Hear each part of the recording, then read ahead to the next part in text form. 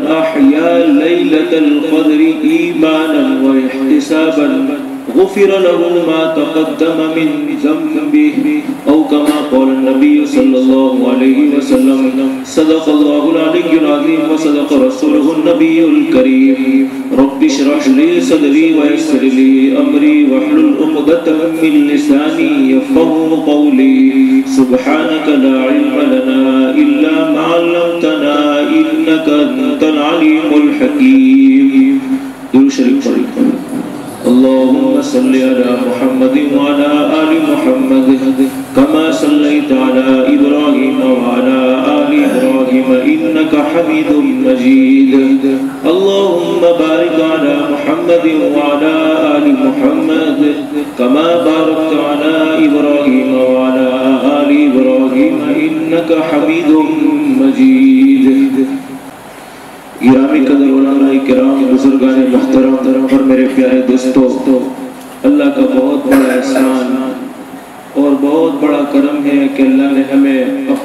मोहब्बत में, दीन की नस्बत पर, ईमान की नस्बत पर, कुरान करीम की अजमत की अजमत की बुनियाद पर हम सबको अपने घर में जमा फरमाया दुआ करो अल्लाह हम सबके जमा होने को कबूल फरमाए। और मेरे प्यारे दोस्तों, बड़ी मुबारक रात है।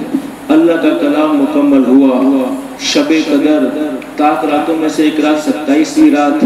तो बहुत सारी खैर बरकत हमारे सामने है। ऐसी मुबारक घड़ी में अल्लाह से दुआ कर लो कि अल्लाह तूने जैसे हमें अपने घर में जमा फरमाया, अल्लाह के लिए कोई मुश्किल नहीं, अल्लाह ताला हम सबको जन्नतुल फिरदौस में भी जमा फरमाए। मेरे प्यारे दोस्तों, आप लोग कोई टेंशन में तो नहीं ना, किसी को जल्दी तो नहीं है। ऐसे हमारे गुजरात में इस रात को जागनी रात के नाम से मशहूर है। जागनी रात मतलब जागने की रात, इबादत की रात नहीं। जागने की रात ये हमारे गुजरात में भी मशहूर है। आपके इलाके के लिए खास नहीं है, पता नहीं आपके यहाँ क्या कहते हैं। जागनी रात को क्या कहते हैं? यही कहते लेकिन कोई इबादत करता नहीं है। तो जम कर बैठेंगे इंशाअल्लाह। जितनी भी बातें होगी, बातें तो आप लोगों ने बहुत सुन ली, बयान तो बहुत सुन ली। आज तो बातें करनी है सिर्फ़ इंशाअल्लाह। तो जितनी भी बातें होगी अमल की नीयत से सुनेंगे इंशाअल्लाह अरे बोलो, अमल करोगे इंशाअल्लाह जम कर बैठोगे इंशाअल्लाह और सोएँगे नहीं कोई। जाग कर सुनोगे ना खाना वाना तो सब खाकर आए, माशाल्लाह। खाना तो सबने खा लिया होगा, किसी को भूख का कोई तकाजा तो नहीं है। इसलिए कि हमको तो साबित भाई ये करोली वालों ने बड़ा ठोस ठोस से खिलाया। तो मुझे तो भूख लगी नहीं, अगर मैं चाहूँ तो दो घंटे भी आपके सामने बोल सकता हूँ। अब आपके अंदर हिम्मत होनी चाहिए। तो जितनी भी बातें अल्लाह हमसे कहलवावे अब अमल की नीयत से सुनेंगे इंशाअल्लाह जाग कर सुनेंगे इंशाअल्लाह सोएँगे तो नहीं मेरे दोस्तों। इसलिए कि जो सोया वो खोया। जो जागा वो पा लिया। आपने बात सुनी होगी शायद कि किसी जंगल में चार दोस्त जमा हो गए। अब चार दोस्त जमा हुए और भूख सबको लगी है। लेकिन किसी के पास खाना नहीं। लेकिन खाने का इंतज़ाम हो गया और खाने का इंतज़ाम सिर्फ़ एक आदमी का होगा भूख लगी थी चारों को और खाने का इंतज़ाम सिर्फ़ एक आदमी को हुआ। तो चारों ने मशवरा किया कौन खाना खाएगा? ये, ये खाना एक आदमी का है भूख तो चारों को लगी है। तो चारों ने सोचा कि खाना कौन खाए? तो सबने मशवरा किया कि जिसका ख्वाब सबसे अच्छा होगा वो सुबह में ये खाना खा ले। रात को हमको खाना नहीं खाना सब सो जाओ। जिसका ख्वाब सुबह में सबसे अच्छा होगा सबसे बेस्ट ख्वाब जिसका होगा वो खाना खा ले। अब चार दोस्त थे। अब चारों दोस्तों में से सुबह में एक दोस्त उठा, भाई, खाना मुझे दे दो। क्यों? भाई, मैंने तो बहुत अच्छा ख्वाब देखा है। तुमने तो ख्वाब देखा होगा तो दुनिया का ख्वाब देखा होगा। मैंने तो ऐसा ख्वाब देखा है कि मैं पहले आसमान पर घूम रहा था। मैंने तो ऐसा ख्वाब देखा है कि मैं पहले आसमान पर घूम रहा था। तो दूसरा दोस्त बड़ा चालाक था। कहा तू पहले आसमान पर था, मैं तो तीसरे आसमान पर था। मैं तो तीसरे आसमान पर था। अब तीसरा दोस्त वो सोचने लगा, अगर मैंने पांचवा कहा तो चौथा सातवें पर जाएगा। तो तीसरा डायरेक्ट सातवें पर कि भाई तू पहले आसमान पर था, तू तीसरे आसमान पर था, मैं तो सातवें आसमान पर था। लेकिन चौथा, ये हमारे मौलाना जैसे, सोया हुआ, आराम से सोया है उठने को तैयार है। अपने चेहरे से कंबल को हटाता ही नहीं है। अब दोस्तों ने कहा, भाई, कि तू तो उठ, अपना भाव बयान कर, ताकि खाने का हिस्सा हुए कि कौन खाना खाएगा? चौथा कहता है, अल्लाह ऐसा खाब किसी को न दिखावे। अल्लाह ऐसा खाब किसी को न दिखावे, ऐसा डरावना खाब किसी को न दिखावे। कहता है कि तूने ऐसा क्या खाब देखा? कि भाई मत पूछो, मैंने तो ख्वाब नहीं देखा, मैंने तो हकीकत देखी है कि रात को एक शख्स आया और मुझे कहा कि ये खाना खा ले, वरना तेरी गर्दन उड़ा दूँगा। ये खाना खा ले, वरना तेरी गर्दन उड़ा दूँगा। तो मैंने तो पूरा खाना खा लिया। अब वो दोस्त थे तीन तीन भाई नाराज़ हो गए कि तूने हमें पूछा नहीं और खाना खा लिया तो तीनों दोस्तों ने कहा, भाई, हमें पुकार ले, कहा, भाई, हमें, हम तेरी मदद को आ जाते। तो वो दोस्त कहता है, जो खाना खा लिया था। दोस्त कहता है, भाई, मैं पुकारूं तो कैसे पुकारूं? मेरी आवाज़ जाती तो दुनिया तक पहुँचती। कोई पहले आसमान की सैर कर रहा है, कोई तीसरे आसमान की सैर कर रहा है, कोई सातवें आसमान की। तो मेरे दोस्तों, जिसने जागा, उसने पा लिया। जो खोया वो, जो सोया वो खो गया। जो सोया वो खो गया तो जाग कर सुनेंगे इंशाअल्लाह। अरे बोलो जाग कर सुनोगे इंशाअल्लाह। आज से मेरे प्यारे दोस्तों, इस मजलिस में कुरान करीम मुकम्मल हुआ। हम इरादा रखें इंशाअल्लाह कि अपने बच्चों को कुरान करीम पढ़ाएँगे इंशाअल्लाह। कुरान करीम से दिली मोहब्बत करेंगे इंशाअल्लाह। जैसे हम दुनियावी तालीम को अहमियत देते हैं, दुनियावी तालीम अपने बच्चों को पढ़ाते हैं, इसी तरीके से आज तमाम के तमाम बैठने वाले इस बात का इरादा रखो इंशाअल्लाह कि हम अपने बच्चों को कुरान करीम पढ़ाएँगे इंशाअल्लाह। और आज एक मजलिस में, इस मजलिस में इस बात का इरादा रखो इंशाअल्लाह कि हम एक बनेंगे इंशाअल्लाह। नेक बनेंगे इंशाअल्लाह। आपस की दुश्मनियों को खत्म कर देंगे इंशाअल्लाह। आज जो मैं आपको एक बात बतलाने जा रहा हूँ, बड़ी तवज्जो से सुनने जैसी बात है। एक हदीस पाक आप लोगों को बतलाऊँगा। अल्लाह से दुआ करो, अल्लाह हम सबको अमल की तौफीक नसीब फरमाए। अल्लाह हम सब की ज़िंदगी में नबी करीम सल्लल्लाहु अलैहि वसल्लम का तरीका दाखिल फरमाए। मेरे प्यारे दोस्तों, अम्मा ईशा। हमारी माँ हज़रत आयशा, सिद्दीक रज़ी अल्लाह तला जो अल्लाह के रसूल सल्लल्लाहु अलैहि वसल्लम की बीवी है। हज़रत अबू बकर सिद्दीक रज़ी अल्लाह तला की बेटी है। हज़रत आयशा सिद्दीक रज़ी अल्लाह तला फरमाती कि एक रात का वाकया। एक रात का वाकया कि वो रात भी बड़ी अजीब रात थी। हज़रत आयशा फरमाती है कि मेरे महबूब और मैं घर के घर के बाहर बैठे हुए हैं और मेरे महबूब मुझसे बातें कर रहे हैं और मैं हंस रही हूँ और मैं बातें करती तो मेरे महबूब हँसते थे। हज़रत आयशा फरमाती है कि कई देर तक हमारी बातें चलती गई। मैं बातें करती, मेरे महबूब मुस्कुराते। मेरे महबूब बातें करते मैं मुस्कुराती। लेकिन हज़रत आयशा फरमाती है कि अचानक मेरे महबूब खामोश हो गए। सुनना मेरे दोस्तों, अचानक मेरे महबूब खामोश हो गए। अचानक मेरे महबूब हज़रत आयशा फरमाती, मैं बड़ी परेशान हो गई कि अभी तक तो मेरे महबूब मुझसे हँसी वाली बातें कर रहे थे, अभी तक तो मेरे महबूब मुस्कुरा रहे थे, अभी तक तो मेरे महबूब बड़ी दिल नबी की बातें करते थे। अचानक मेरे नबी को क्या हो गया कि मेरे नबी खामोश हो गए? हज़रत आयशा फरमाती है कि उस वक्त मेरे नबी करीम सल्लल्लाहु अलैहि वसल्लम के चेहरे मुबारक को देखा तो आपके आँखों से आँसू के कतरे गिर रहे थे। गोया मोती के दाने गिर रहे थे ऐसे आँसू के कतरे गिर रहे थे। हज़रत आयशा ने पूछा, मेरे महबूब, ओ मेरे सरकार आपको हो क्या गया? आप अभी तक तो मुझसे हँसी वाली बातें करते थे। अभी तक तो मुझसे मुस्कुराहट वाली बातें करते थे। अचानक आपको रोना कैसे आ गया? अचानक आप खामोश कैसे हो गए? अल्लाह के रसूल ने फरमाया, आयशा, अल्लाह के रसूल ने फरमाया, आयशा, तुझे नहीं मालूम। अभी जिब्रील मेरे पास आए थे। अल्लाह के रसूल सल्लल्लाहु अलैहि वसल्लम की शान ये थी। हमारे आका ताजदार मदीना मोहम्मद मुस्तफ़ा सल्लल्लाहु अलैहि वसल्लम का मकाम ये था कि अल्लाह के रसूल हमारी अम्मा हज़रत आयशा सिद्दीका रज़ी अल्लाह थे कुरान नाजिल हो जाता था।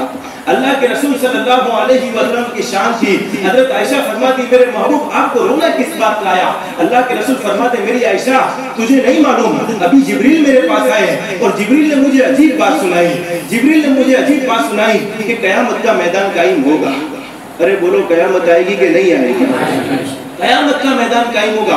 कुरान करीम में फरमाया, यौम यफिरुल मरउ मिन अखीहि व उम्मिही व अबीही व साहिबतिही व बनीही। कयामत का मैदान, वो मैदान होगा। आज दुनिया में कोई किसी का साथ देने को तैयार नहीं है। तो कयामत का मैदान तो वो मैदान होगा कि उस वक्त बाप बेटे के काम आने को तैयार नहीं, बेटा बाप के काम आने को तैयार नहीं, माँ बेटी के काम आने को तैयार नहीं, बेटी माँ के काम आने को तैयार नहीं दोस्त दोस्त के काम आने को तैयार नहीं। उस वक्त का मंजर हज़रत आयशा फरमाती है, मेरे महबूब रोना किस वजह से आया?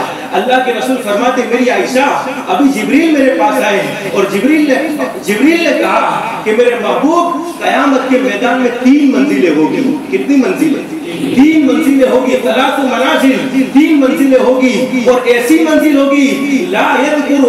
अहदुन अहदा। कोई किसी को याद नहीं करेगा। वो तीन मंजिलें ऐसी होगी कि कोई किसी को याद नहीं करेगा। हज़रत आयशा फरमाती है, मेरे महबूब, वो तीन मंजिलें मुझे भी तो बता दीजिए कि वो तीन मंजिलें कौन सी है? अल्लाह के रसूल ने फरमाया, मेरी आयशा, यही तो मैं तुझे बता रहा हूँ कि कयामत के मैदान में कितनी मंजिलें होगी। अरे बोलो ना, कयामत में कितनी मंजिलें होगी? तीन मंजिलें होगी। सबसे पहली मंजिल अल्लाह के हाथ में तराजू होगा। सबसे पहली मंजिल अल्लाह के हाथ में आज का बयान नहीं है, आज सबक याद करना है उनको सबसे पहली मंजिल अल्लाह के हाथ में तराजू होगा।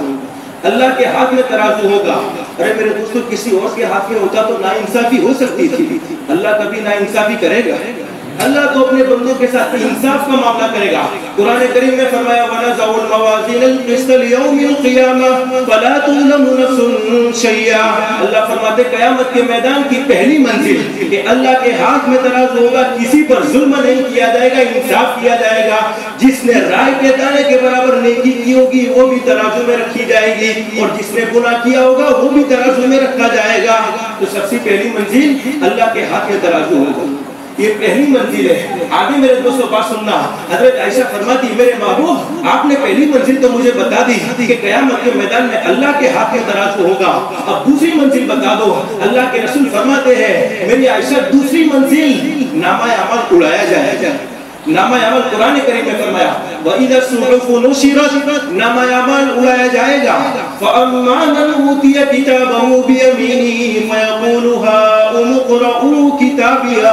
जिन लोगों का नामा अमल सीधे हाथ में मिल गया, जिन लोगों का नामा अमल सीधे हाथ में मिल गया तो इस बात की दलील है कि ये बंदा कामयाब है और कयामत के मैदान में कहता फिरेगा, लोगों, देखो, मैं तो कामयाब हो गया, मैं तो पास हो गया। अल्लाह ने मेरे लिए जन्नत को वाजिब कर दिया और जिन लोगों का ना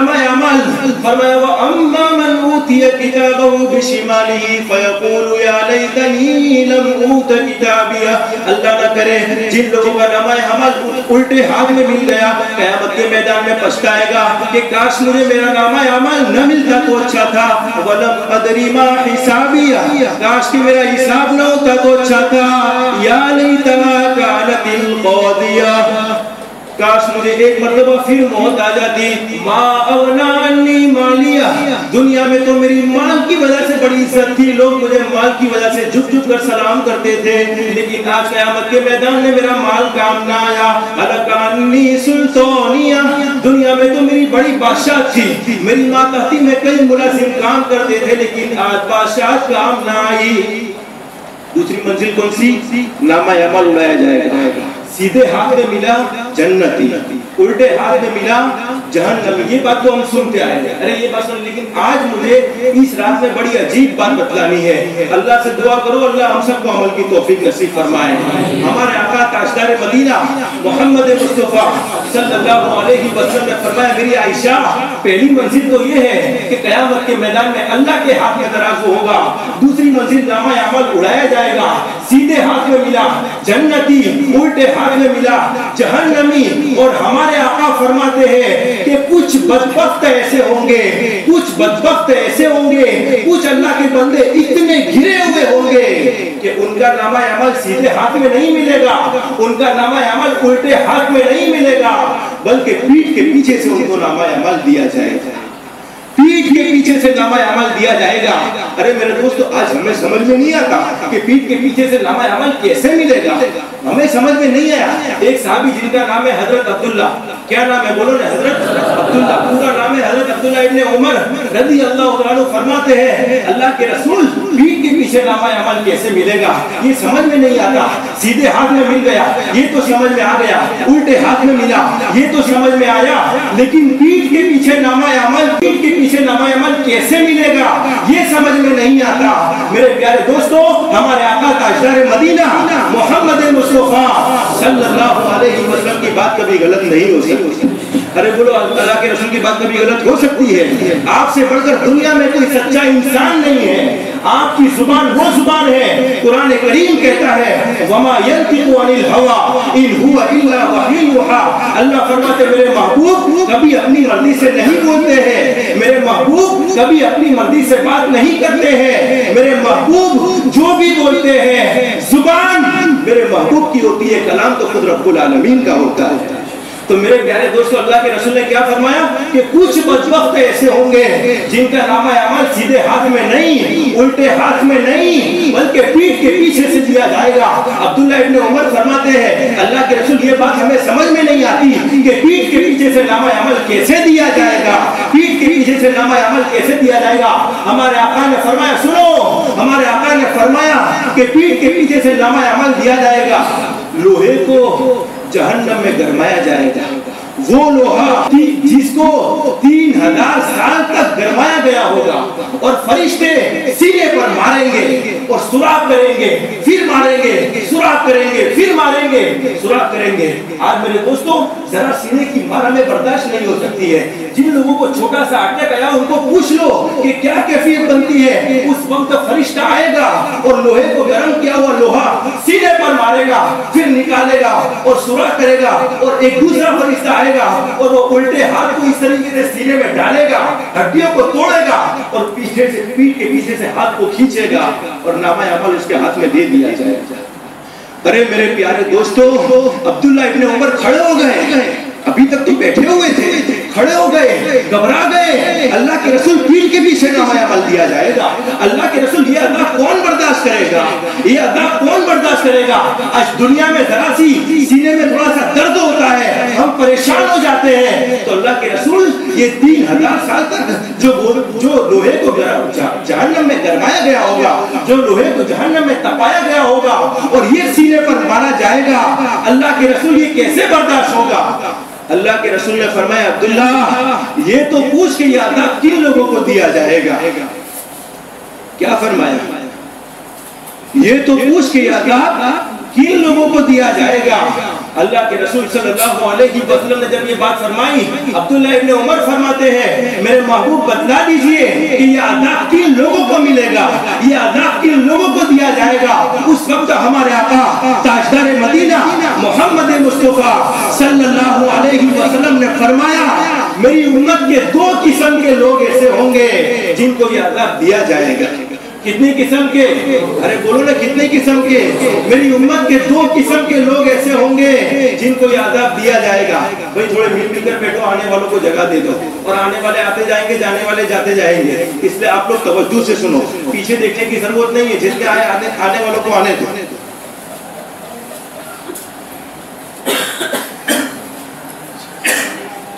दुरूद शरीफ पढ़ो अल्लाहुम्मा सल्ली अला मुहम्मद आलिहि वसल्लम तस्लीमा। हमारे आका ने फरमाया, अब्दुल्ला, दो किस्म के लोगों को, मेरी उम्मत के दो किस्म के लोगों को यह आदाब दिया जाएगा। दो किस्म के लोग, हज़रत अब्दुल्ला इब्ने उमर फरमाते, मेरे महबूब बतला दीजिए, वो दो किस्म के लोग कौन से हैं जिनको यह आदाब दिया जाएगा?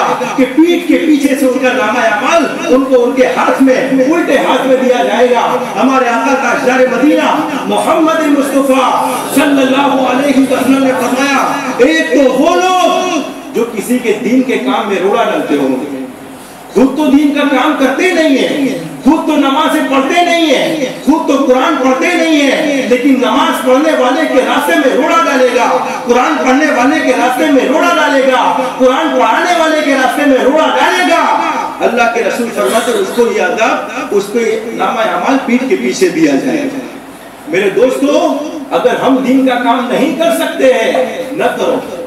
लेकिन किसी को रोको मत, वरना ये अदाब कौन बर्दाश्त करेगा अरे बोलो, किसी में हिम्मत है ये अदाब बर्दाश्त करने नहीं है मेरे दोस्तों, आज हम अपनी ज़िंदगी को देखें, खुद तो अमल से खाली है, खुद की ज़िंदगी में अमल नहीं है, और जो उनका फूटा अमल करता है, उस पर ताला कशी शुरू कर दी, उस पर इल्ज़ाम लगाने शुरू कर दिए। अरे मेरे प्यारे दोस्तों, अगर किसी आम इंसान के साथ गलत सलूक करोगे, उसकी सजा तो अलग है। और हमारे आका का अशर मदीना आज मेरे दोस्तों हसद की आग इतनी इंसान में भड़क गई है। आज इंसान एक मुसलमान, दूसरे मुसलमान की जान का दुश्मन बन चुका है। इस वजह से मेरे प्यारे दोस्तों, अगर किसी ने दीन का काम किया है, अगर किसी ने अजान देने का काम किया है, अगर किसी ने कुरान पढ़ाने का काम किया है, अगर तुम कुरान नहीं पढ़ा सकते हो, तुम कुरान नहीं पढ़ सकते हो, अगर उसके रास्ते में रोड़े डाले। हमारे आका फरमाते कयामत के मैदान में कहा नामा अमल दिया जाएगा। बोलो ना ज़ोर से पीठ के पीछे नामा अमल दिया जाएगा। मैं बात ये बयान कर रहा था कि आम मुसलमान के साथ गलत सलूक करोगे, उसकी सजा तो अलग है। और अगर अच्छा सलूक करो, सिर्फ़ अच्छा सलूक भी नहीं, अल्लाह के रसूल सल्लल्लाहु अलैहि वसल्लम ने फरमाया कि जिसने किसी आम मुसलमान के बारे में चाहे वो चेहरे से दाढ़ी रखता हो, न रखता हो, चाहे वो नमाज़ से पढ़ता हो, न पढ़ता हो, चाहे वो रोज़े रखता हो, न रखता हो, चाहे वो जक़ात देता हो, न देता हो, हमारे आका फरमाते हैं कि जो किसी आम मुसलमान के बारे में अच्छा गुमान रखे, अल्लाह के रसूल फरमाते, मैं उसको दुनिया में जन्नत की बशारत देता हूँ। अल्लाह कबीरा, कितना आसान है जन्नत कमाना।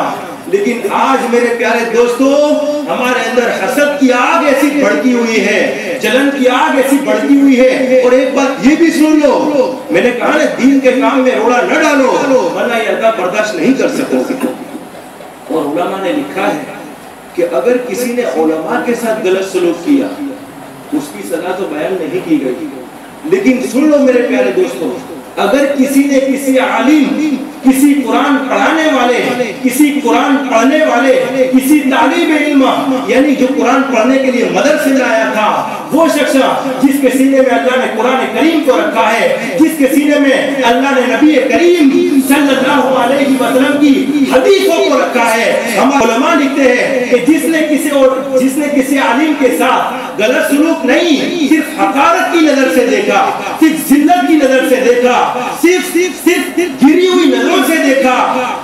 उसको अल्लाह सात नस्लों तक उसकी सात नस्लों तक अल्लाह कुरान की दौलत से महरूम कर देगा अल्लाह उसकी सात नस्लों तक कुरान की दौलत से महरूम कर देगा। और उलमा लिखते हैं कि सात नस्लों तक अल्लाह उसको इल्म की दौलत से महरूम कर देगा। अगर इल्म मिला तो अमल की दौलत से महरूम। तो इससे बड़ी मेरे दोस्तों, महरूमी क्या होगी? इसलिए हम भी इनका काम नहीं कर सकते, न करो। लेकिन कोई करता है, उसके रास्ते में रोड़े न डालो, वरना कयामत में अदा बर्दाश्त नहीं कर सकोगे कर सकोगे मेरे दोस्तों?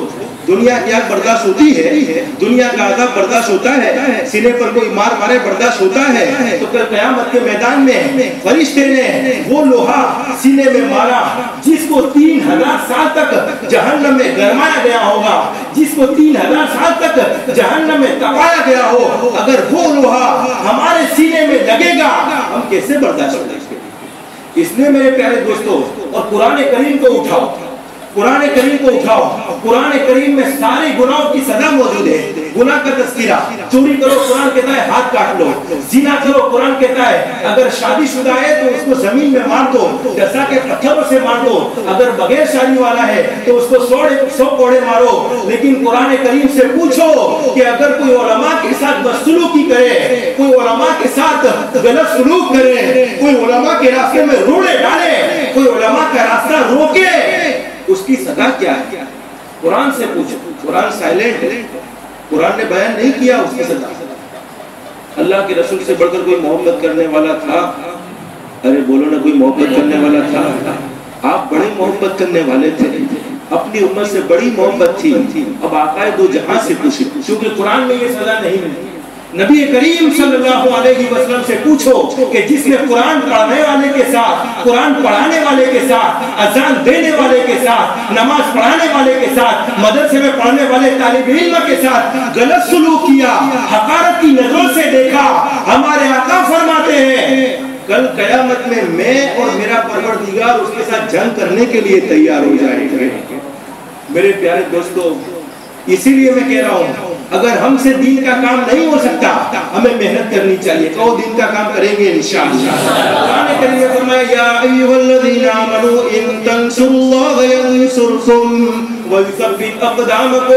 अल्लाह फरमाते, ईमान वालो, अगर तुम मेरे दीन की मदद करोगे, अल्लाह किसी का मोहताज नहीं है, लेकिन अल्लाह ने फरमाया, ईमान वालो, अगर तुमने मेरे दीन की मदद की, अल्लाह फरमाते, मैं तुम्हारी मदद करूँगा। और तुम्हारे कदम दुश्मनों के मुकाबले में जमा दूँगा। तुम पर कोई दुश्मन हावी नहीं हो सकता है। इसीलिए कुरान करीम के दूसरे मकाम पर अल्लाह फरमाते हैं, वला तहीनु, मेरे बंदो, तुम सुस्ती न करो। वला तहजनु, मेरे बंदो, तुम गम न करो। व अंतुमुल अअलौन तुम ही गालिब हो।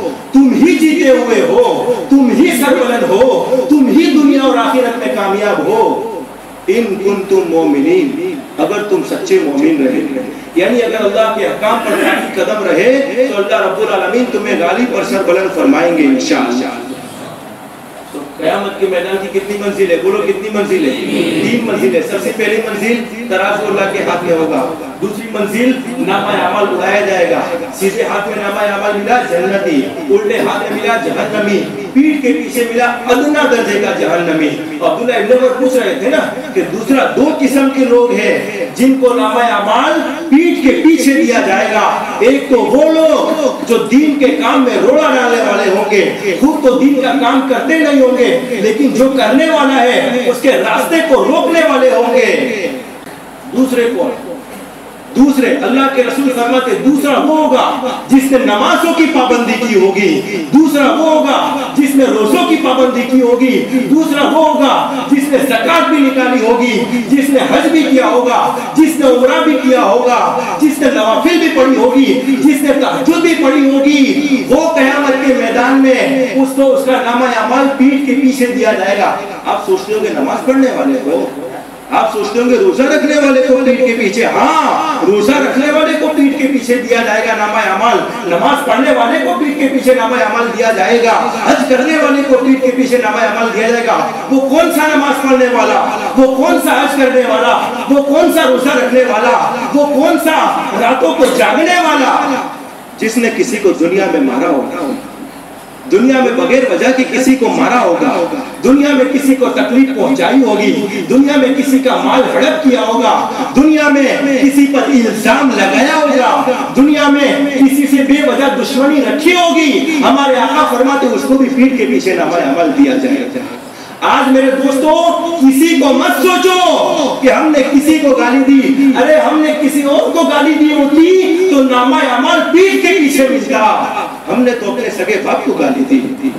हमने तो अपनी सगी माँ को गाली दी। अरे, मेरे दोस्तों, माँ बाप को गाली देते हैं। उनका तो अल्लाह जाने क्या हाल बनेगा। इसलिए मेरे प्यारे दोस्तों माँ बाप की कदर जानो। अगर माँ बाप दुनिया में है, सबसे बड़ी नेमत है माँ बाप और मेरे दोस्तों, दुनिया में तमाम नेमतें अगर फौत हो जाए तो मिल सकती है, लेकिन माँ बाप एक ऐसी नेमत है, नहीं मिल सकती। अल्लाह के रसूल सल्लल्लाहु अलैहि वसल्लम की हदीस पाक मैंने फजर बाद आप लोगों को सुनाई थी। नबी करीम सल्लल्लाहु अलैहि वसल्लम मिंबर पर तशरीफ़ ले गए। अल्लाह के रसूल सल्लल्लाहु अलैहि वसल्लम ने फरमाया, आमीन। जिब्रील जिब्रील अमीन आए थे ना?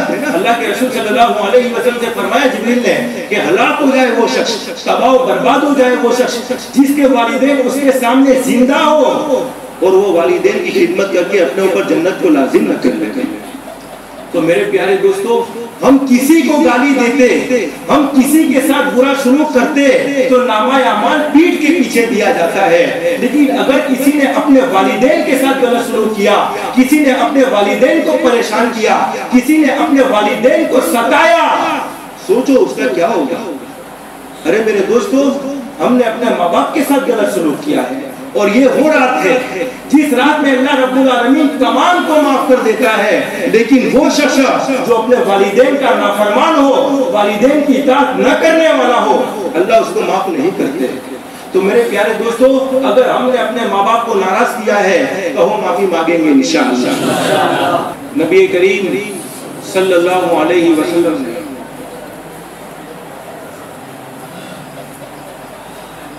में बातें जितनी करनी पूरी रात मौजूद है। अल्लाह के रसूल, हज़रत मोहम्मद मुस्तफ़ा वसल्लम एक मरतबा बयान फरमाया कि हज़रत मूसा अलैहि वसलाम एक मरतबा कोहे तूर पर गए और अल्लाह से कहा कि आलमीन, मैं अपना जन्नत का साथी देखना चाहता हूँ। जन्नत में मेरा दोस्त कौन है? जन्नत में मेरा रफीक कौन है? अल्लाह ने फरमाया, मूसा, तुम फुला गाँव में चले जाओ। उसकी गोश्त की दुकान है और उसके वहाँ जाकर देख लो, वो तुम्हारा जन्नत का साथी है। हज़रत मूसा अलैहिस्सलाम उस गाँव में गए। उस गाँव में देखा कि उसकी गोश्त की दुकान है और रात को अपने गोश्त की दुकान को बंद करके गोश्त लेकर घर पर जा रहा है। और हज़रत मूसा अलैहिस्सलाम ने अपना लिबास उतार लिया और मुसाफिर बनकर गए और उस शख्स से कहा कि, मैं तेरे साथ एक रात रहना चाहता हूँ, तेरा मेहमान बनना चाहता हूँ। वो शख्स कहता है कि हाँ कोई बात नहीं, आप मेरे मेहमान बन सकते हैं। हज़रत मूसा ने देखा कि उसने गोश्त पकाया। गोश्त पकाने के बाद उसने गोश्त को गोश्त को यानी छोटा छोटा करते जैसे कीमा बनाया। वालिदा बुढ़ा, इसकी वालिदा बहुत बुढ़िया थी, खाने के लिए दांत नहीं थे तो उसने गोश्त का कीमा बनाया और अपनी वालिदा को खिलाता जा रहा है, अपनी वालिदा को मुँह में लुकमे डालता जा रहा है और उसकी वालिदा होठों से कोई हरकत कर रही है, उसकी वालिदा होठों से कोई हरकत कर रही है। अब हज़रत मूसा फरमाते, मुझे ये समझ में नहीं आया। वो खिला तो रहा है नौजवान, अपनी माँ के मुँह में, लुक में डाल रहा है और उसकी माँ ओटो से हरकत कर रही है।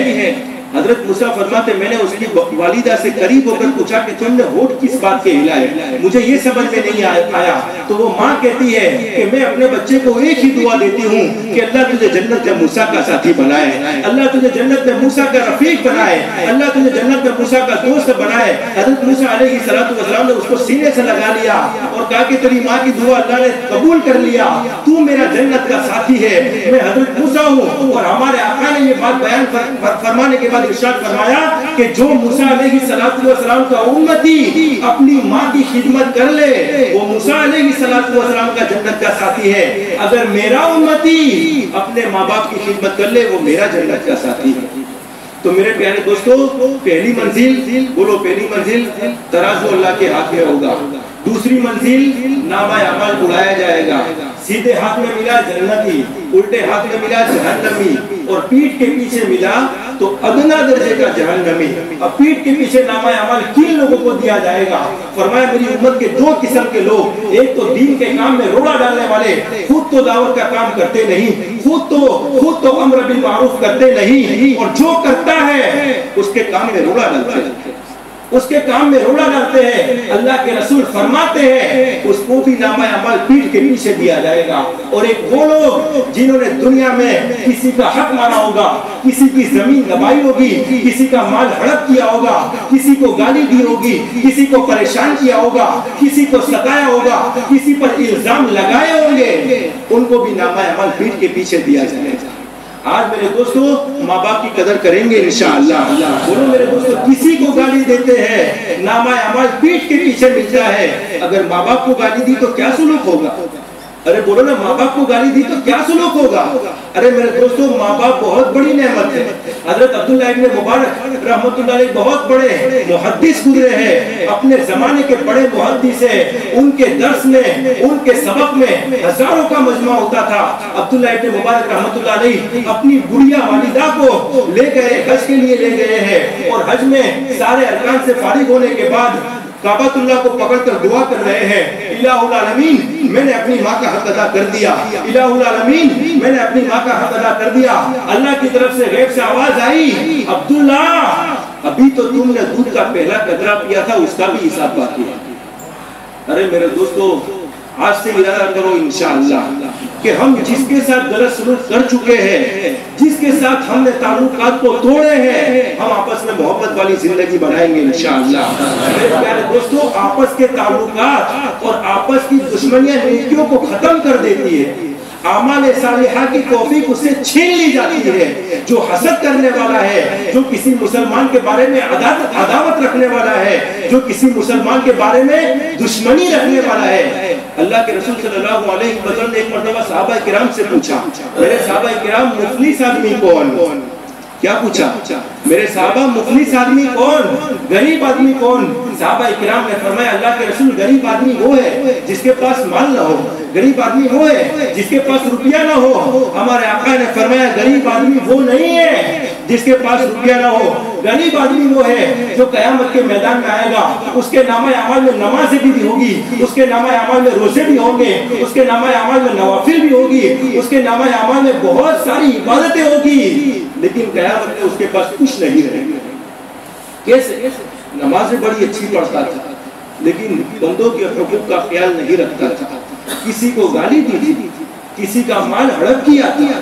किसी को परेशान किया था, किसी को सताया था, किसी पर इल्ज़ाम लगाया था तो वो सारी नेकियाँ जो दुनिया में कमा कर लाया था, उस शख्स को दे दी जाएगी जिसको गाली दी थी। उस शख्स को दे दी जाएगी जिसका हक दबाया था, उस शख्स को दे दी जाएगी जिसको परेशान किया था। अब मेरे दोस्त, बड़ा नेक तो बड़ा था, बड़ी अच्छी नमाजें पढ़ने वाला था, लेकिन दुकान पर बैठकर झूठ बोलने वाला था। झूठ बोलकर माल कमाने वाला था। धोखा देने वाला था। अब निकिया लेने वाले तो कयामत के मैदान में बहुत सारे लोग आ जाएँगे और उसके पास निकिया खत्म हो गई। करे तो क्या करे? कैसे बदला लिया जाए? उस शख्स के गुना जिसको गाली दी थी, उसके सर पर डाल दिए जाए। कमा के आए थे बहुत कुछ, लेकिन रहा कुछ नहीं। तो मेरे प्यारे दोस्तों, आज हम अपने दिलों को पाक और साफ़ करेंगे, इंशाअल्लाह। कयामत के मैदान में कोई नामा अमल पीठ के पीछे बर्दाश्त कर सकता है। अरे बोलो ना, दुनिया की आग बर्दाश्त होती है। तो कयामत के मैदान में वो लोहे को गरम गरम किया हुआ लोहा, तीन हज़ार साल तक गरम किया हुआ लोहा, उसको सीने में मारा जाएगा और सीने में मारकर हाथ डाला जाएगा। ये बात कौन सुन रही थी? कौन सुन रही थी? आप भूल गए शुरू में जो बयान सुनी हज़रत आयशा सिद्दीका रदी अल्लाह सुन रही थी। पहली मंजिल नामा तराजू अल्लाह के हाथ में दूसरी मंजिल नामा अमल लाया जाएगा। अब तीसरी मंजिल सुनो। हमारे नबी हज़रत मोहम्मद मुस्तफ़ा सल्लल्लाहु अलैहि वसल्लम ने फरमाया, तीसरी मंजिल तीसरी मंजिल कयामत के मैदान में एक पुल कायम किया जाएगा। पुल कायम होगा और वो पुल कैसा? तलवार से ज़्यादा तेज और बाल से ज़्यादा बारीक। तलवार से ज़्यादा तेज और बाल से ज़्यादा बारीक और उस पुल से हर एक आदमी को गुजरना होगा। अगर जो हमारे साले वाली ज़िंदगी गुजार कर दुनिया में गया है, वो तो बिजली की तरह पार हो जाएगा। लेकिन जिसने दुनिया में गुना करके ज़िंदगी गुजारी है, जिसने दुनिया में अल्लाह की नाफरमानी करके ज़िंदगी गुजारी है, जहन्नम होगी। नीचे जहन्नम होगी। हज़रत आयशा फरमाती, अल्लाह के रसूल, ये तीन मंजिल है। कयामत के मैदान में अल्लाह के हाथ में तराजू नामा अमल उड़ाया जाएगा। कुल सिरात कायम होगा। हज़रत आयशा फरमाती, अईना अकूनु या रसूल अल्लाह अल्लाह के रसूल मेरा क्या होगा? अल्लाह के रसूल? बोलो ना, अल्लाह के रसूल मेरा क्या होगा? हम पूछते अल्लाह के रसूल हमारा क्या होगा? मेरे दोस्तों, हज़रत आयशा तो बख्शी बख्शाई है। हज़रत आयशा वो आयशा है जिसका निकाह अल्लाह रब्बुल आलमीन ने आसमान पर किया है। हज़रत आयशा वो आयशा है जो दुल्हन बनी है छह साल की उम्र में। तो हमारे आका ताजदार मदीना मोहम्मद मुस्तफ़ा सल्लल्लाहु अलैहि वसल्लम की दुल्हन बनी है। हज़रत आयशा वो आयशा है जो बेटी है। तो अबू बकर सिद्दीक, जिनका उम्मत में सबसे ऊँचा मकाम है, हज़रत अबू बकर की बेटी है। हज़रत आयशा वो आयशा है अल्लाह के रसूल सल्लल्लाहु अलैहि वसल्लम को बेहद मोहब्बत थी। आपने जुमा के बयान में सुना कि अल्लाह के रसूल सल्लल्लाहु अलैहि वसल्लम ने अपनी बीमारी के आखिरी दिन हज़रत आयशा सिद्दीका रज़ी अल्लाह तआला के साथ गुजारे हैं और अल्लाह के रसूल सल्लल्लाहु अलैहि वसल्लम जब घर में तशरीफ़ लाते थे, आपको भूख बड़ी लगती थी। इसलिए कि आपका एक मिशन था, उम्मत राह रास्ते पर आ जाए, उम्मत हक पर आ जाए। अल्लाह के रसूल उस वक्त हज़रत आयशा से फरमाते, आयशा, कुछ खाने को रखा हो तो दे दो। हज़रत आयशा कभी कभी दूध पेश करती अल्लाह के रसूल एक प्याला दूध रखा हुआ है। पहले आप नोश फरमा लीजिए, फिर मैं अल्लाह के रसूल सल्लल्लाहु अलैहि वसल्लम की मोहब्बत देखो। हज़रत आयशा सिद्दीका रज़ी अल्लाह तआला जब ये बात कहती, अल्लाह के रसूल फरमाते, आयशा, मैं पहले नहीं पीऊँगा, पहले अपने मुबारक हाथों से तुझे पिलाऊँगा। पहले अपने मुबारक हाथों से तुझे पिलाऊँगा। और मेरे प्यारे दोस्तों, किताबों में लिखा है कि हज़रत आयशा प्याले को जहाँ मुँह लगाती थी, अल्लाह के रसूल उसी जगह से दूध पीते थे। आयशा ने पूछा, अल्लाह के रसूल, आप ऐसा क्यों करते हैं? फरमाया, मुझे बड़ी मोहब्बत है। तो मेरे प्यारे दोस्तों, अल्लाह के रसूल की मोहब्बत देखो अगर हमने किसी के साथ गाली दी है, किसी को बुरा भला कहा है तो उसका नामा अमाल तो पीठ के पीछे है। अगर हमने अपनी बीवी के साथ भी गलत सुलूक किया है, उससे भी माफ़ी मांग लो। वो भी तो अल्लाह की बंदी है। अरे मेरे दोस्तों, उसका भी तो हम पर हक है। अगर हमने उसके साथ गलत सुलूक किया है तो ये नामा अमाल पीठ के पीछे कौन बर्दाश्त करेगा? इसलिए मेरे प्यारे दोस्तों, आज से याद रखो इंशाअल्लाह, कि हम मोहब्बत भरी ज़िंदगी गुजारेंगे इंशाअल्लाह। आपस की दुश्मनियों को खत्म कर देंगे इंशाअल्लाह। आपस में एक दूसरे की जान के दुश्मन नहीं बनेंगे इंशाअल्लाह। एक दूसरे की इज़्ज़त के निगेबान बन जाएँगे इंशाअल्लाह। मैं क्या बात बयान कर रहा था? हज़रत आयशा ने पूछा, अल्लाह के रसूल मेरा क्या होगा? हम पूछते अल्लाह के रसूल हमारा क्या होगा? अल्लाह के रसूल ने फरमाया आयशा फ़िक्र ना करना। फ़िक्र न करना। मैं पुल सिरात के किनारे पर रहूँगा। मैं पुल सिरात के किनारे पर रहूँगा। और उस सकता मेरा कोई गुनेगार उम्मत आता होगा और वो जहन्नम में गिरने वाला होगा। अल्लाह के रसूल फरमाते हैं, मैं उसे गिरने नहीं दूँगा, बल्कि अपनी आगोश में ले लूँगा, अपनी गोद मुबारक में ले लूँगा, उसे गिरने नहीं दूँगा। अरे मेरे दोस्तों, अल्लाह के रसूल फरमाते कि उम्मत आएगा, उसको जहन्नम में गिरने नहीं दूँगा। उम्मती आएगा, उसको जहन्नम में गिरने नहीं दूँगा। तो मेरे प्यारे दोस्तों, अगर उम्मती है नबी करीम सल्लल्लाहु अलैहि वसल्लम का तो हमारे आका फरमाते हैं, उसे पुलसिरा से गुजरना है, लेकिन जहन्नम में गिरने वाला होगा। मैं उसे जहन्नम में गिरने नहीं दूँगा, बल्कि अपनी आगोश में ले लूँगा। तो आज मेरे दोस्तों, उम्मत बनोगे अब उम्मती कौन? उम्मती कौन? उलमा लिखते हैं, उम्मती वो है जिसके अंदर दो सिफात हो। एक तो उसकी सूरत नबी करीम सल्लल्लाहु अलैहि वसल्लम की सूरत हो। एक तो उसकी सीरत नबी करीम सल्लल्लाहु अलैहि वसल्लम की सीरत तो मेरे प्यारे दोस्तों, ये मुबारक रात है। आप लोग थक गए होंगे शायद। मुबारक रात है। अल्लाह से माफ़ी मांगेंगे इंशाअल्लाह। बहुत बातें हो गई। बहुत बातें सुन ली। अब तो मेरे प्यारे दोस्तों, इस रात में इरादा करो, इंशाअल्लाह। कि हम अमल करेंगे, इंशाअल्लाह? अब तो अमल वाली ज़िंदगी बनाएँगे, इंशाअल्लाह। जितनी ज़िंदगी गफलत में गुजरी है, अल्लाह से माफ़ी मांगेंगे, इंशाअल्लाह।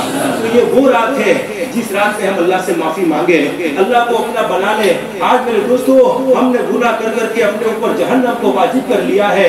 हम अपनी सारी ज़िंदगी को देखे रमज़ान मुबारक का महीना हमने कैसे गुजारा मेरा हल मेरे सामने है। आपका हाल आपके सामने है। आप खुद गौर कर ले कि हमने रमज़ान का महीना कैसे गुजारा है। तो मेरे दोस्तों, अल्लाह आलमीन जानता है, मेरे बंदे के अंदर गुनाह करने की आदत है। अल्लाह ने बंदे की फितरत में रखा है कि वो गुनाह करता है, लेकिन अल्लाह बंदे की तोबा का इंतज़ार करता है। बंदे की तोबा का इंतज़ार करता है। तो मेरे प्यारे दोस्तों, अल्लाह से माफ़ी मांगोगे इंशाअल्लाह। अरे अल्लाह से माफ़ी मांगोगे इंशाअल्लाह। इस रात में जो भी माफ़ी मांगेगा, अल्लाह माफ़ कर देगा। लेकिन कुछ लोग ऐसे हैं जिनकी इस रात में भी मगफिरत नहीं है। तो वो लोग अल्लाह हमें इनमें शामिल न करे। अगर है तो हम तोबा कर ले। तोबा करेंगे इन उसमें एक तो वो है जो शिरक करने वाला शिरक करने वाला अल्लाह के साथ किसी को शरीक ठहराने वाला, यानी अकीदा ये रखे कि करने धरने वाली जात अल्लाह की है और ये भी अकीदा हो कि करने धरने वाले की जात किसी और की भी है। जैसे कल मैंने फजलबाद की मस्जिद से बताया था कि भाई ने बताया, अंगूठी में शिफा है। शिफा देने वाली जात किसकी है? यकीन इस बात पर होना चाहिए, ये हमारी जो दावत की मेहनत, मुबारक मेहनत है, इसमें यही बात सिखलाई जाती है, कोई और चीज़ नहीं सिखलाई जाती। आँखों से जो होता हुआ नज़र आता है, उसको छोड़ो। ऐसे दुनिया दारुल असबाब है। आप कह रही है कि होता है दुनिया की शक्लों से, लेकिन दिल में इस बात का यकीन होना चाहिए कि करने धरने वाली जात अल्लाह अल्लाह के साथ किसी को शरीक नहीं ठहरा शिरक न करना। दूसरा इस रात में नहीं होती, शराब पीने वाले। जो शराब का आदि है, जो नशे में रहने वाला है तो मेरे दोस्तों, मेरे नौजवानों, अगर ये आदत हमारे अंदर है तो हम अल्लाह से तोबा कर ले। अरे मेरे दोस्तों, कहो अल्लाह से तोबा करेंगे इंशाअल्लाह। ये आदत बहुत बुरी आदत है। इस्लाम में शराब पीना जायज़ था, लेकिन जब शराब की हुर्मत नासिल हो गई, कुरान करीम में ऐलान हो गया कि शराब हराम हो गई उस वक्त अल्लाह के रसूल सल्लल्लाहु अलैहि वसल्लम ने मदीने में ऐलान करवाया, अला इन्नल खम्र कद हुर्रिम। ओ लोगों, सुनो, शराब हराम हो चुकी है, शराब हराम हो चुकी है। उस वक्त का सहाबा इकराम में से जिसके पास मटका था, उसने मटके को तोड़ दिया, जिसके पास बोतल थी, उसने बोतल को तोड़ दिया।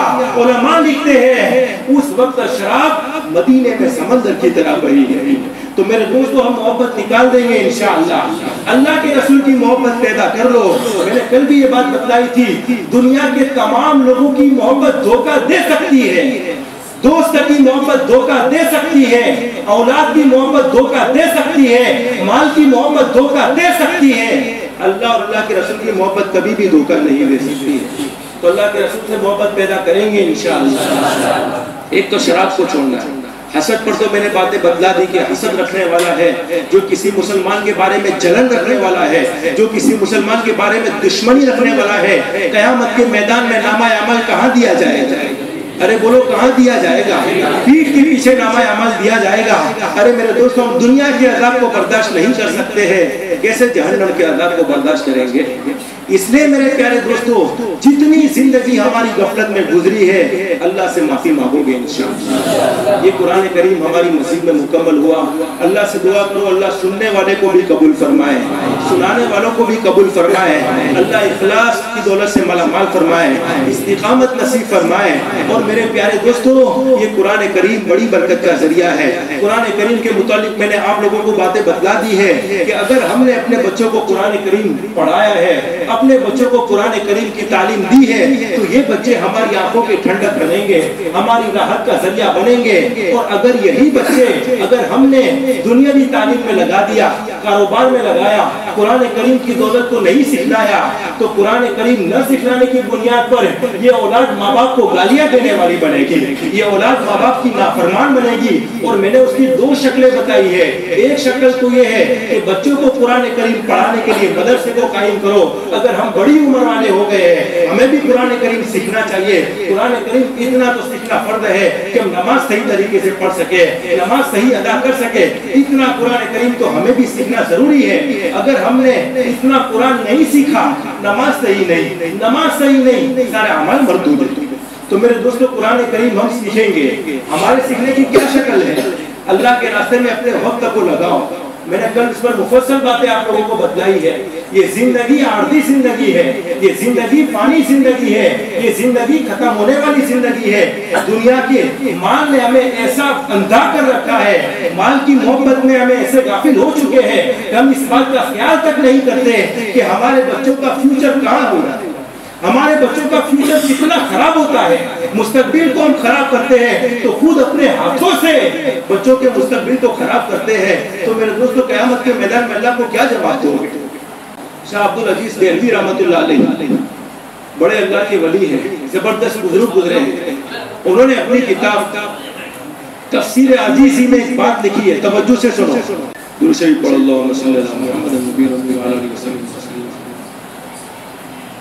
शाह अब्दुल अज़ीज़ देलवी अलैह बहुत बड़े अल्लाह के वली गुजरे हैं। ज़बरदस्त अल्लाह की वली। उन्होंने अपनी तफसीर में एक बड़ी अजीब बात लिखी है। शाह साहब अपनी तफसीर में लिखते हैं कि एक माँ बाप अपनी बेटी को अकलौता छोड़कर इंतकाल कर गए। पहले माँ का इंतकाल हो गया, फिर बाप का इंतकाल हो गया। अब बेटी की कोई परवरिश करने वाला न रहा। बेटी की कोई तरबियत करने वाला न रहा। बेटी का कोई पुरसान हाल न रहा। तो शाह साहब ने लिखा कि वो बेटी तो इतनी आज़ाद हो गई कि वो नौजवान लड़कों के साथ घूमने लगी, नौजवान लड़कों के साथ स्विमिंग पूल में तैरने लगी। शाह अब्दुल अज़ीज़ देहली अलैह अपनी तस्वीर में ये बात लिखते हैं कि उसके बाप को तो आज़ाद कबर हो रहा है, इस वजह से कि उसकी बेटी की तरबियत नहीं है, उसकी बेटी को कुरान करीम नहीं सिखलाया। और मैंने कल ये बात बताई थी, परसों ये बात बताई थी। नबी करीम सल्लल्लाहु अलैहि वसल्लम ने फरमाया, कयामत के मैदान में सबसे ज़्यादा सख्त आदाब उन वालिदैन को होगा जिन्होंने अपने बच्चों को दीनी तालीम नहीं सिखलाई थी। जिन्होंने अपने बच्चों को कुरान नहीं सिखलाया, जिन्होंने अपने बच्चों को नबी करीम सल्लल्लाहु अलैहि वसल्लम के फरमान से वाकिफ नहीं किया, कयामत के मैदान में वो वालिदैन सख्त अजाब में मुब्तला होंगे। तो शाह फरमाते हैं कि उसके बाप को तो अजाब होने लगा। इसलिए कि बेटी नौजवानों के साथ गलतकारी में मुब्तला हो गई। शाह ने फरमाया कि वो वाली वो उसका जो बाप मर गया था, वो अपने पुराने दोस्त के खाब में आकर कहता है कि तुम जाकर मेरी बेटी को समझाओ, ताकि मेरी बेटी कुरान पढ़ने लगे। मेरी बेटी मुझकर, मुझे पढ़कर मिसाले सवाब करे। लेकिन वो दोस्त था। दोस्त ने उसके एड्रेस को मालूम किया और लोगों ने समझाया कि तुम उस बच्ची के पास न जाना। इसलिए कि वो तो बड़ी बदतमीज है। वो लोगों के साथ अच्छे अखलाक से पेश नहीं आती है। वो लोगों के साथ बुरा मामला करती है। लेकिन दोस्त का दोस्त की मोहब्बत थी हाँ मेरी ज़िम्मेदारी है। मैं ये पैगाम उस बच्ची तक पहुँचा दूँगा। अरे मेरे दोस्तों, वो गया है। तलाश करते करते लिखा के समंदर के करीब पहुँचा और समंदर में वो लड़की नौजवानों के साथ ला रही थी। वो नौजवानों के साथ ना रही थी और वो दोस्त ने उस लड़की को समझाया कि तेरा बाप अजाब में मुबतला है, तेरा बाप अजाब कबर में मुब्तला है। तुझे चाहिए कि तू अल्लाह के सामने तोबा कर ले, कुरान करीम पढ़ और अपने वालिदैन के लिए मफिरत की दुआ कर। अब वो लड़की को क्या मालूम कि इसाले सवाब क्या होता है? वो लड़की को क्या मालूम कि अजाब कबर क्या होता है? इसलिए कि उसकी तो कोई तरबियत करने वाला नहीं था, उसकी तो किसी ने तरबियत नहीं की तो उसने पानी के चुल्लू को यूँ उठाया और दोस्त की तरफ़ यूँ फेंका पहली मर्तबा फेंका दोस्त थोड़ा पीछे हटा, दूसरी मर्तबा फेंका दोस्त थोड़ा पीछे हटा। इस तरीके से मेरे दोस्तों वो लड़की फेंकती गई और वो दोस्त तो मायूस होकर घर पर चला आया, मायूस हो गया, घर पर चला आया। अब दोस्त, वो दोस्त जो अदाबी कमर में मुब्तला था खाब में आता है और कहता है, अल्लाह ने मुझे माफ़ कर दिया। अल्लाह ने मुझसे अदाब कबर को हटा लिया लिया। अब वो दोस्त कहता है, मैं तो तेरी बेटी को समझाने के लिए गया था। तेरी बेटी ने मेरी बात नहीं मानी। अल्लाह ने तुझसे अदाब कबर कैसे हटा लिया? ये समझ में आने वाली बात नहीं है। उसने तो मेरी तोहिन की थी। तेरी बेटी ने तो मेरी बेइज्जती की। मुझ पर पानी के छींटे उड़ाए तो वो दोस्त कहता है, इसी वजह से तो अल्लाह ने मुझे माफ़ किया इसी वजह से तो माफ़ किया कि मेरी बेटी ने तेरे ऊपर पानी डाला। इस वजह से तो अल्लाह ने मुझे माफ़ किया है। वो दोस्त कहता है, ये बात समझ में आने वाली नहीं है। इस वजह से कैसे माफ़ किया? वो दोस्त कहता है कि जिस वक्त मेरी बेटी ने तुझ पर पानी डाला, उस वक्त एक चिड़िया का छोटा सा बच्चा था। वो पानी की वजह से तड़प रहा था और वो ये तलब कर रहा था कि मुझे कुछ पानी पिला दे। और अल्लाह से ये दुआ करता था कि इलाहुल अगर मुझे कोई पानी पिला दे तो मैं उसके वालिदेन की मफिरत की दुआ करता हूँ अगर मुझे कोई पानी पिला दे तो मैं उसके वालिदैन की, उसके माँ बाप की मगफिरत की दुआ कर दूँगा।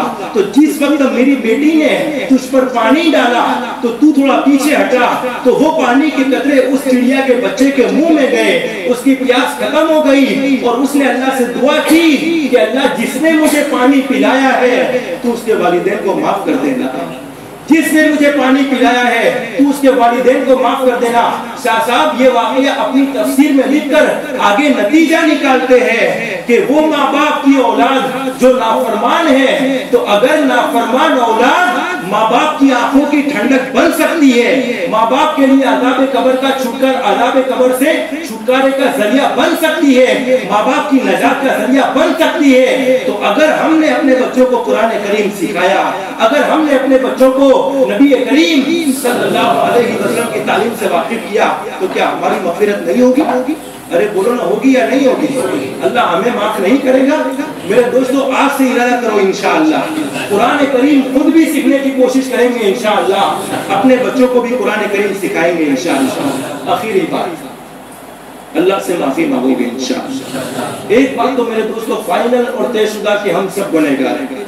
अरे बोलो, मेरे दोस्तों, है ना, हम सब गुनहगार इसलिए कि हमारे आका काशदार मदीना मोहम्मद मुस्तफ़ा सल्लल्लाहु अलैहि वसल्लम ने फरमाया, कुल्लुकुम खत्ताऊन, ए मेरे सहाबा, तुम सब के सब गुनहगार हो। तो मेरे दोस्तों, वो साहबा किराम जो हमारे आका के लिए जान दे देने के लिए तैयार हो, अरे वो साहबा किराम जो हमारे आका के हुक्म की तकमील करने के लिए हर वक्त तैयार रहते हो, आपकी इताद में ज़िंदगी गुजारते हो, ऐसे साहबा किराम से हमारे नबी फरमाए कि मेरे साहबा, तुम सब के सब गुनहगार हो। तो क्या मेरे दोस्तों, मैं और आप गुनेगार नहीं हो सकते। अरे बोलो ना, हो सकते या नहीं हो सकते? लेकिन नबी करीम सल्लल्लाहु अलैहि वसल्लम ने फरमाया, खैरुल खत्ताइन अत-तव्वाबून अल-मुस्तगफिरून। क्या फरमाया? बेहतरीन गुनहगार वो है। सबसे अच्छा गुना करने वाला वो है। सबसे अच्छा नाफरमानी करने वाला वो है। जो गुना करने के बाद अल्लाह से तौबा कर ले अल्लाह से माफ़ी मांग ले अल्लाह के सामने अपनी गफलत वाली ज़िंदगी के आँसू बहा ले कि अल्लाह मेरी ज़िंदगी गफलत में गुजर गई। आज मेरे दोस्तों, दुनिया का माहौल देखो। दुकान का सेठ नाराज़ हो जाता है, मनाना बड़ा मुश्किल मालूम होता है। दोस्त नाराज़ होता है, मनाना बड़ा मुश्किल मालूम होता है। हमारा कोई उस्ताद नाराज़ होता है, मनाना बड़ा मुश्किल मालूम होता है। दुकान का सेठ नाराज़ होता है, मनाना बड़ा मुश्किल मालूम होता है। अल्लाह फरमाते, मेरे बंदे, मैं तो बड़ा रहमान हूँ, मैं तो बड़ा रहीम हूँ, मैं तो बड़ा करीम हूँ। अगर मैं तुझसे नाराज़ हो जाऊँ, अगर मैं तुझसे रुक जाऊँ, तू मेरे सामने रो ले। अल्लाह फरमाते हैं कि जब कोई बंदा नबी करीम सल्लल्लाहु अलैहि वसल्लम का इरशाद है, कि जब कोई बंदा अल्लाह के सामने रोता है, उसके आँखों से आँसू का कतरा गाल पर आने से पहले अल्लाह फरमाते मेरी इज़्ज़त की कसम, मैं उसके सारे गुनाहों को माफ़ कर देता हूँ। तो मेरे दोस्त अल्लाह से माफ़ी मांगोगे इंशाल्लाह। अल्लाह ने बड़े बड़े लोगों को माफ़ किया है बड़े बड़े नाफरमानों को अल्लाह ने माफ़ किया है। हज़रत मूसा अलैहिस्सलाम पर इल्ज़ाम लगाने वाले।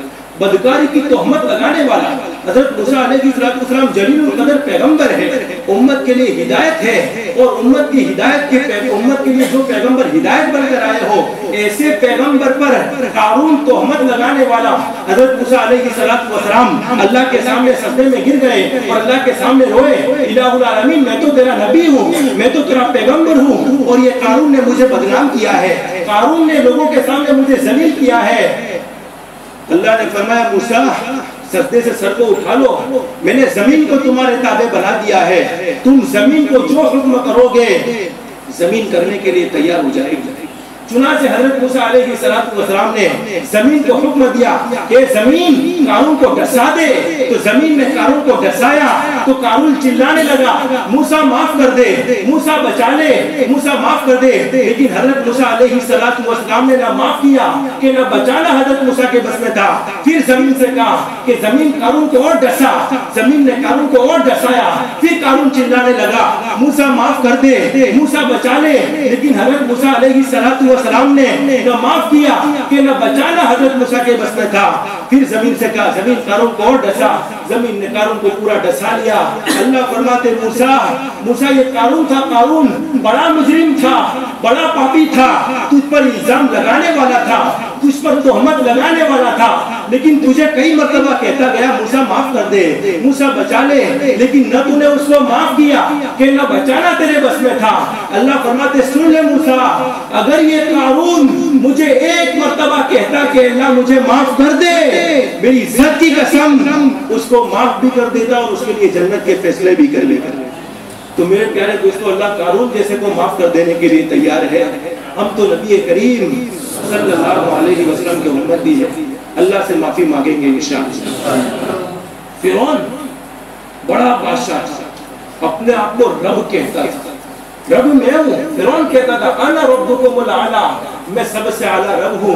लेकिन जब डूबने लगा डूबने लगा जिब्रील फरमाते अल्लाह के रसूल सल्लल्लाहु अलैहि वसल्लम अल्लाह के रसूल सल्लल्लाहु अलैहि वसल्लम के सामने आकर जिब्रील फरमाते हैं कि अल्लाह के रसूल जब ये फिरौन डूबने लगा तो मुझे ये खतरा महसूस हुआ कि कहीं अल्लाह को पुकार न दे, कहीं अल्लाह से माफ़ी न मांग ले।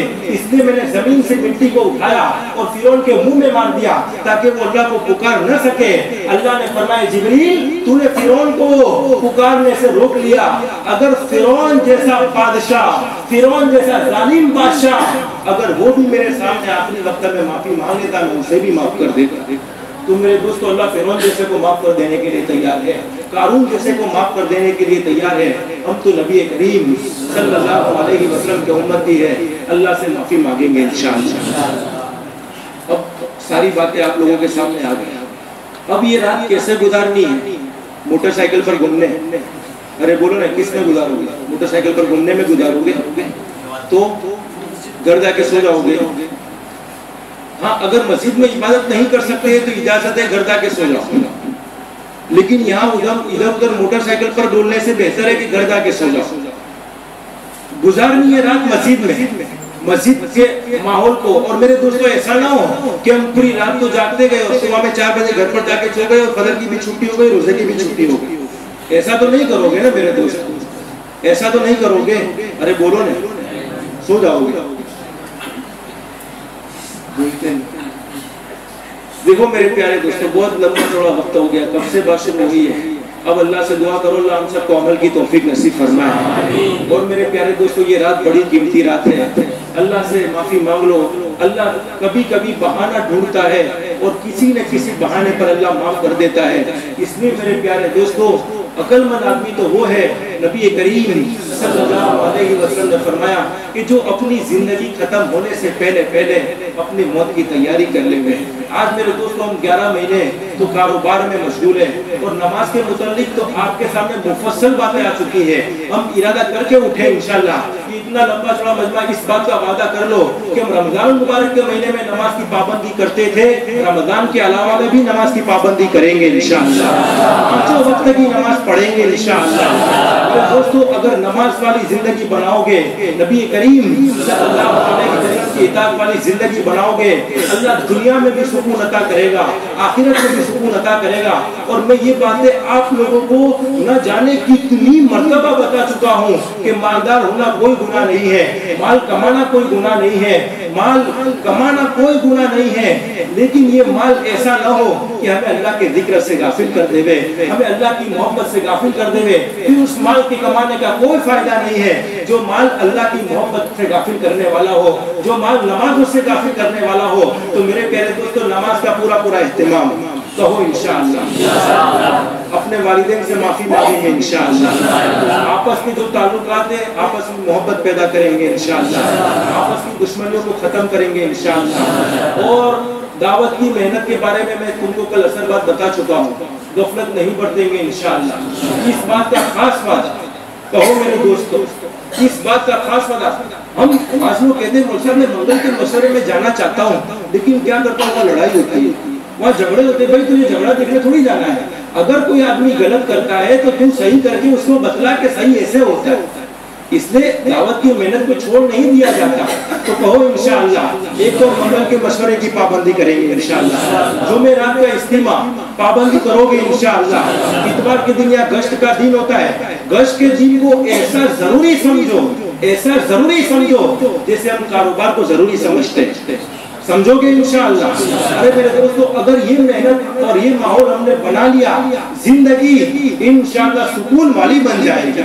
दुनिया के सारे प्रॉब्लम अल्लाह सोल्व कर देगा। अल्लाह फरमाते, मेरे बंदे, तू अपनी तू अपनी परेशानी की मुझसे शिकायत करता है, लेकिन तू खुद भी तो अपने अमाल देख ले कि तू नमाजों से दूर है तो अल्लाह के रास्ते की मेहनत से दूर है, फिर तेरे साथ खैर का फैसला कैसे होने वाला है? तो मेरे दोस्तों, अगर खैर का फैसला अल्लाह से चाहते हो तो ये सारी ज़िंदगी, अपनी सारी ज़िंदगी, अपनी मनमानी ज़िंदगी छोड़कर रब चाहिए ज़िंदगी गुजारेंगे इंशाअल्लाह। अल्लाह हम सबको इन बातों पर अमल करने की तौफीक नसीब फरमाए। मेरे प्यारे दोस्तों, कल सदर की नमाज़ के बाद फ़ौरन निकलना है। तो मैं आप लोगों का तहे दिल से शुक्रगुजार हूँ कि आप लोगों ने माशाल्लाह रोज़ाना असर के बाद भी काफ़ी लोग मौजूद होते थे, फजर के बाद भी काफ़ी लोग मौजूद होते थे। अल्हम्दुलिल्लाह तुम अल्हम्दुलिल्लाह, अल्लाह ने हमें ये रमज़ान मुबारक के महीने में ये सारी बातें सुनने का मौका नसीब फरमाया। अब अल्लाह से दुआ करो, अल्लाह हम सबको अमल की तौफीक नसीब फरमाए। और हमारे वो खुशूस हजरात, हमारे मौलाना आसिफ साहब, मैं आपको सच कहता हूँ, अल्लाह के घर में अमानत वाली कुर्सी पर बैठकर मेरे दोस्तों, अल्लाह को हाजिर नाजिर रखते हुए ये बात मैं कहता हूँ, जब मैं आपकी मस्जिद में दो साल पहले आया था आया था दो साल पहले। किसी को याद है? दो साल पहले आपकी मस्जिद में आया था। दो साल पहले जब खत्म कुरान के मौके पर आया था, उस वक्त से लेकर अभी तक मौलाना के मुसलसल फ़ोन थे? कि मौसम हमारी मस्जिद में आओ, रमज़ान का महीना। लेकिन मैं गुजशत रमज़ान में अपने बीमारी की वजह से, अपनी परेशानी की वजह से नहीं आ सका और इस मरतबा भी स्पेशल देवबंद में दावत देने के लिए आए और बस यही इसरार था और हर वक्त ये फ़िक्र थी। मेरे दोस्तों, हम ये ना समझे कि पुराना आदमी है और वो हमारी फ़िक्र नहीं करता, बल्कि मेरे दोस्तों, हर वक्त रोज़ाना मैं अल्लाह को हाजिर नासिर रखते हुए ये बात कहता हूँ। उनसे मेरा कोई ऐसा वास्ता नहीं, मुझे आपसे भी मोहब्बत है, उनसे भी मोहब्बत है, लेकिन रोज़ाना मुझे ये बात बतलाई जाती थी कि हमारी कौम में ये कमी, हमारी कौम में ये कमी, हमारी कौम में ये कमी रोज़ाना जो बातें मैंने आप लोगों के सामने की है, शायद ही कोई बात ऐसी छोड़ी होगी जो इस्लाम में दाखिल ना हो। रोज़ाना मैंने आपको बातें बतलाई है। सारी अल्हम्दुलिल्लाह ये मौलाना की बरकत है। अल्लाह उनको जैसा खैर नसीब फरमाए। अल्लाह उनको बेहतरीन बंदा नसीब फरमाए। इसी तरीके से वो हमारे मोहसिन हज़रत, जैसे हमारे इस्लाम भाई है, इन्होंने भी माशाल्लाह रमज़ान मुबारक में बड़ी खिदमत की है। ये फारूक भाई है, पूरा रमज़ान मुबारक का महीना ये मस्जिद में ही गुजारा है। मस्जिद से निकले नहीं है और माशाला बड़ी खिदमत करते रहे। ये फिरोज भाई जो एहतिकाफ में सारी बस्ती का हक अदा किया। है आज तक मस्जिद में कोई एहतिकाफ में बैठने वाला नहीं था। मैंने एक मतलब कहा, भाई, तू एक एहतिकाफ में बैठ जाएगा, पूरी बस्ती का गुना बच जाएगा और पूरी बस्ती अल्लाह के सामने जवाब देने से महफूज रह जाएगी। अगर बस्ती में कोई भी एहतिकाफ बैठने एहतिकाफ में बैठने वाला न हो तो सारी बस्ती गुनेगार होती है। तो वो भी माशाल्लाह बड़ी खिदमत करते रहे। अल्लाह उनको भी जजाय खैर अता फरमाए। और ये हमारे साबिर आदि साहब माशाल्लाह, उनकी भी बड़ी खिदमत है, बड़ी मोहब्बत से। रहे मेरे दोस्तों, बड़ी मोहब्बत थी उनको भी। अल्लाह इनकी जान माल उम्र में खूब बरकत नसीब फरमाए। अल्लाह दुआ करते हैं कि अल्लाह ऐसे नौजवानों को अपने दीन के लिए कबूल फरमा ले। अगर वो अपने दीन के लिए, अल्लाह के दीन के लिए अपने आप को तैयार कर लेंगे इंशाअल्लाह अल्लाह के दिन को बड़ी मदद मिल जाएगी इंशाअल्लाह ऐसे अल्लाह किसी का मोहताज नहीं है। लेकिन अगर ये ये हीरे अगर तैयार हो गए, और इसी तरीके से हमारे खलील भाई भी माशाल्लाह बड़ी खिदमत करने वाले हैं। बहुत सारे हजरात हैं। तमाम के तमाम लोगों का एहसान है। मैं अपनी तरफ़ से और कारी साहब की तरफ़ से और हमारे भाई की तरफ़ से सबका तहे दिल से शुक्र गुजार हूँ। अल्लाह तमाम तमाम की जान मार उम्र में खूब बरकत नसीब फरमाए। अल्लाह जिसने खाना खिलाया है, उसको जन्नतुल फिरदौस का खाना नसीब फरमाए। जिसने अल्लाह अच्छा सुलूक हमारे साथ किया है, अल्लाह से दिल से दुआ है। अल्लाह उनकी औलाद को उनकी आँखों का ठंडक बना दे। अल्लाह उनकी तमाम जायज़ मकासदों को पूरा फरमाए।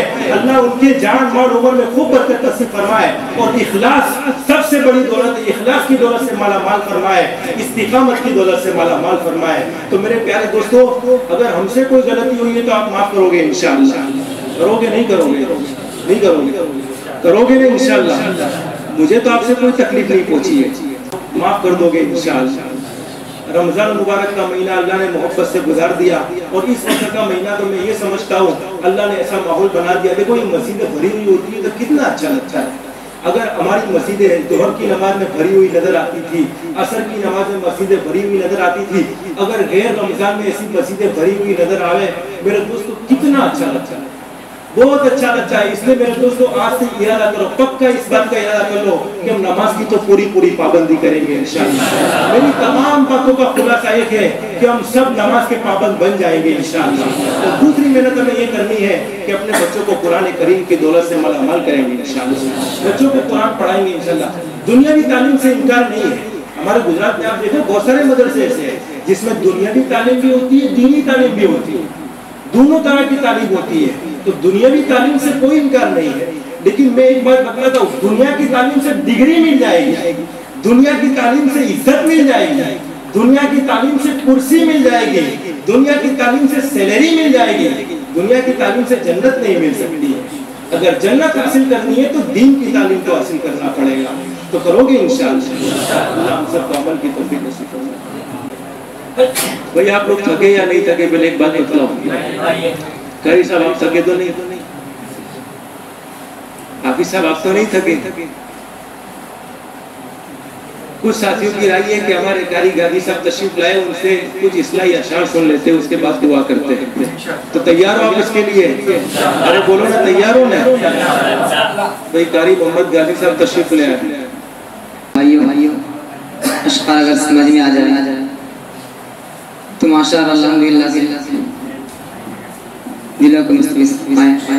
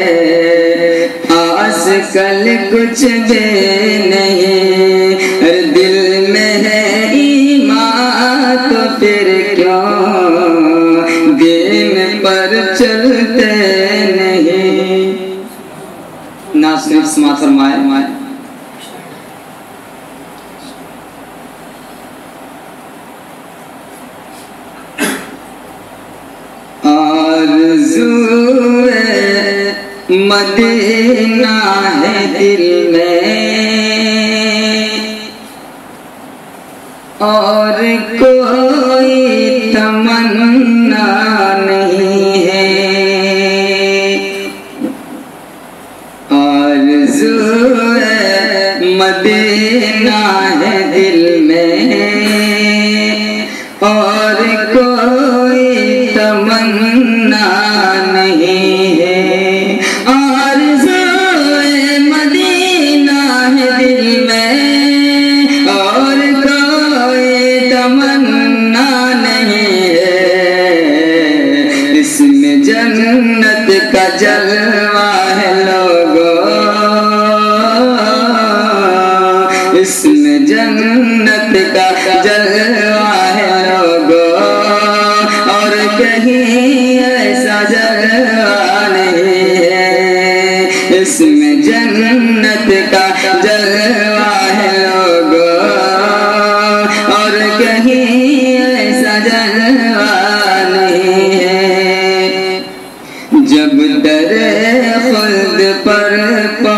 हज़रत बादब आके हो बोले। जब दरे खुद पर पहुँच हज़रत बादब आके हो रस बोले। बेतकल चले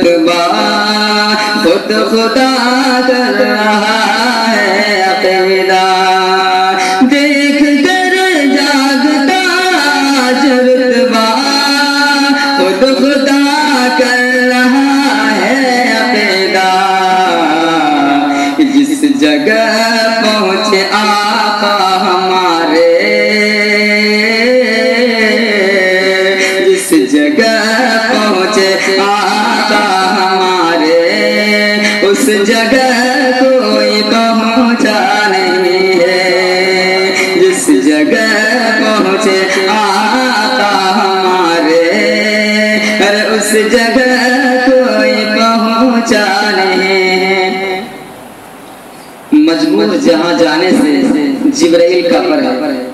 मजबूर जहाँ जाने से जिब्राइल का पर है। उससे भी आगे आगे मोहम्मद का गुजर। गुजर अर्श पर पहुँच जब चाहे वाला।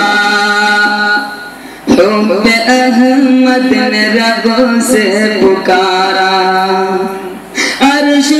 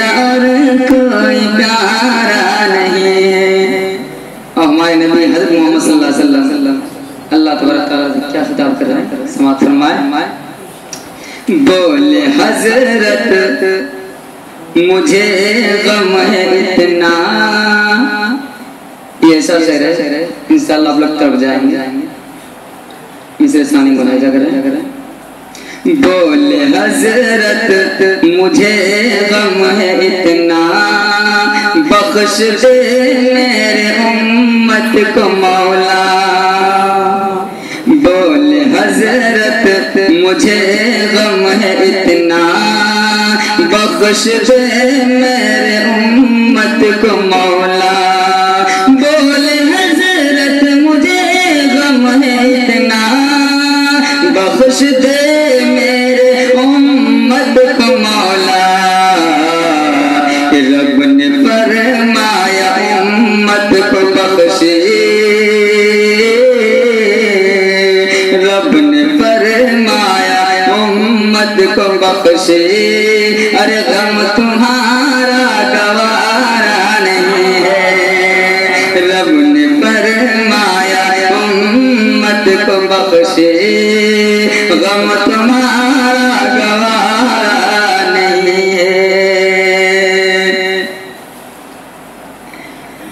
खुद पर बैठे रिजवान जन्नत। बात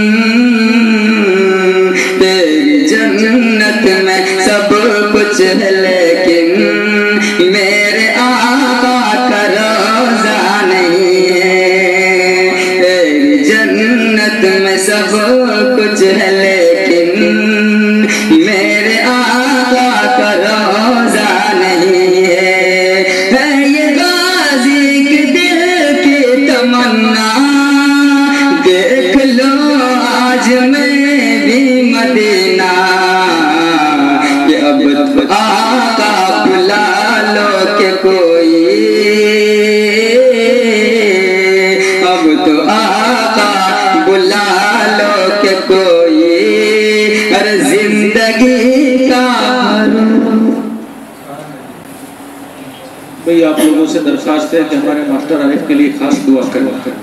अल्लाह जैसी ज़िंदगी पहले थी, ऐसी ज़िंदगी बना दे। और अल्लाह ईमान, इखलास, अमल और नेक साले ज़िंदगी बना दे। इसके भी बहुत बड़े एहसान है, लेकिन मैं बोलना भूल गया था कि अल्लाह उसके भी जान मालूम करे वक्र में खूब बरकत नसीब फरमाए। चलो, अल्लाह के लिए सुन लिया कि अल्लाह के रसूल सल्लल्लाहु अलैहि वसल्लम का मकाम कितना ऊँचा है। उम्मत को बख्शिश मिली अल्लाह के रसूल सल्लल्लाहु अलैहि वसल्लम के सदक़े। मुबारक रात है अल्लाह के सामने रोएंगे अल्लाह माफ़ करेगा इंशाअल्लाह अल्लाहुम्मा सल्ली अला मुहम्मद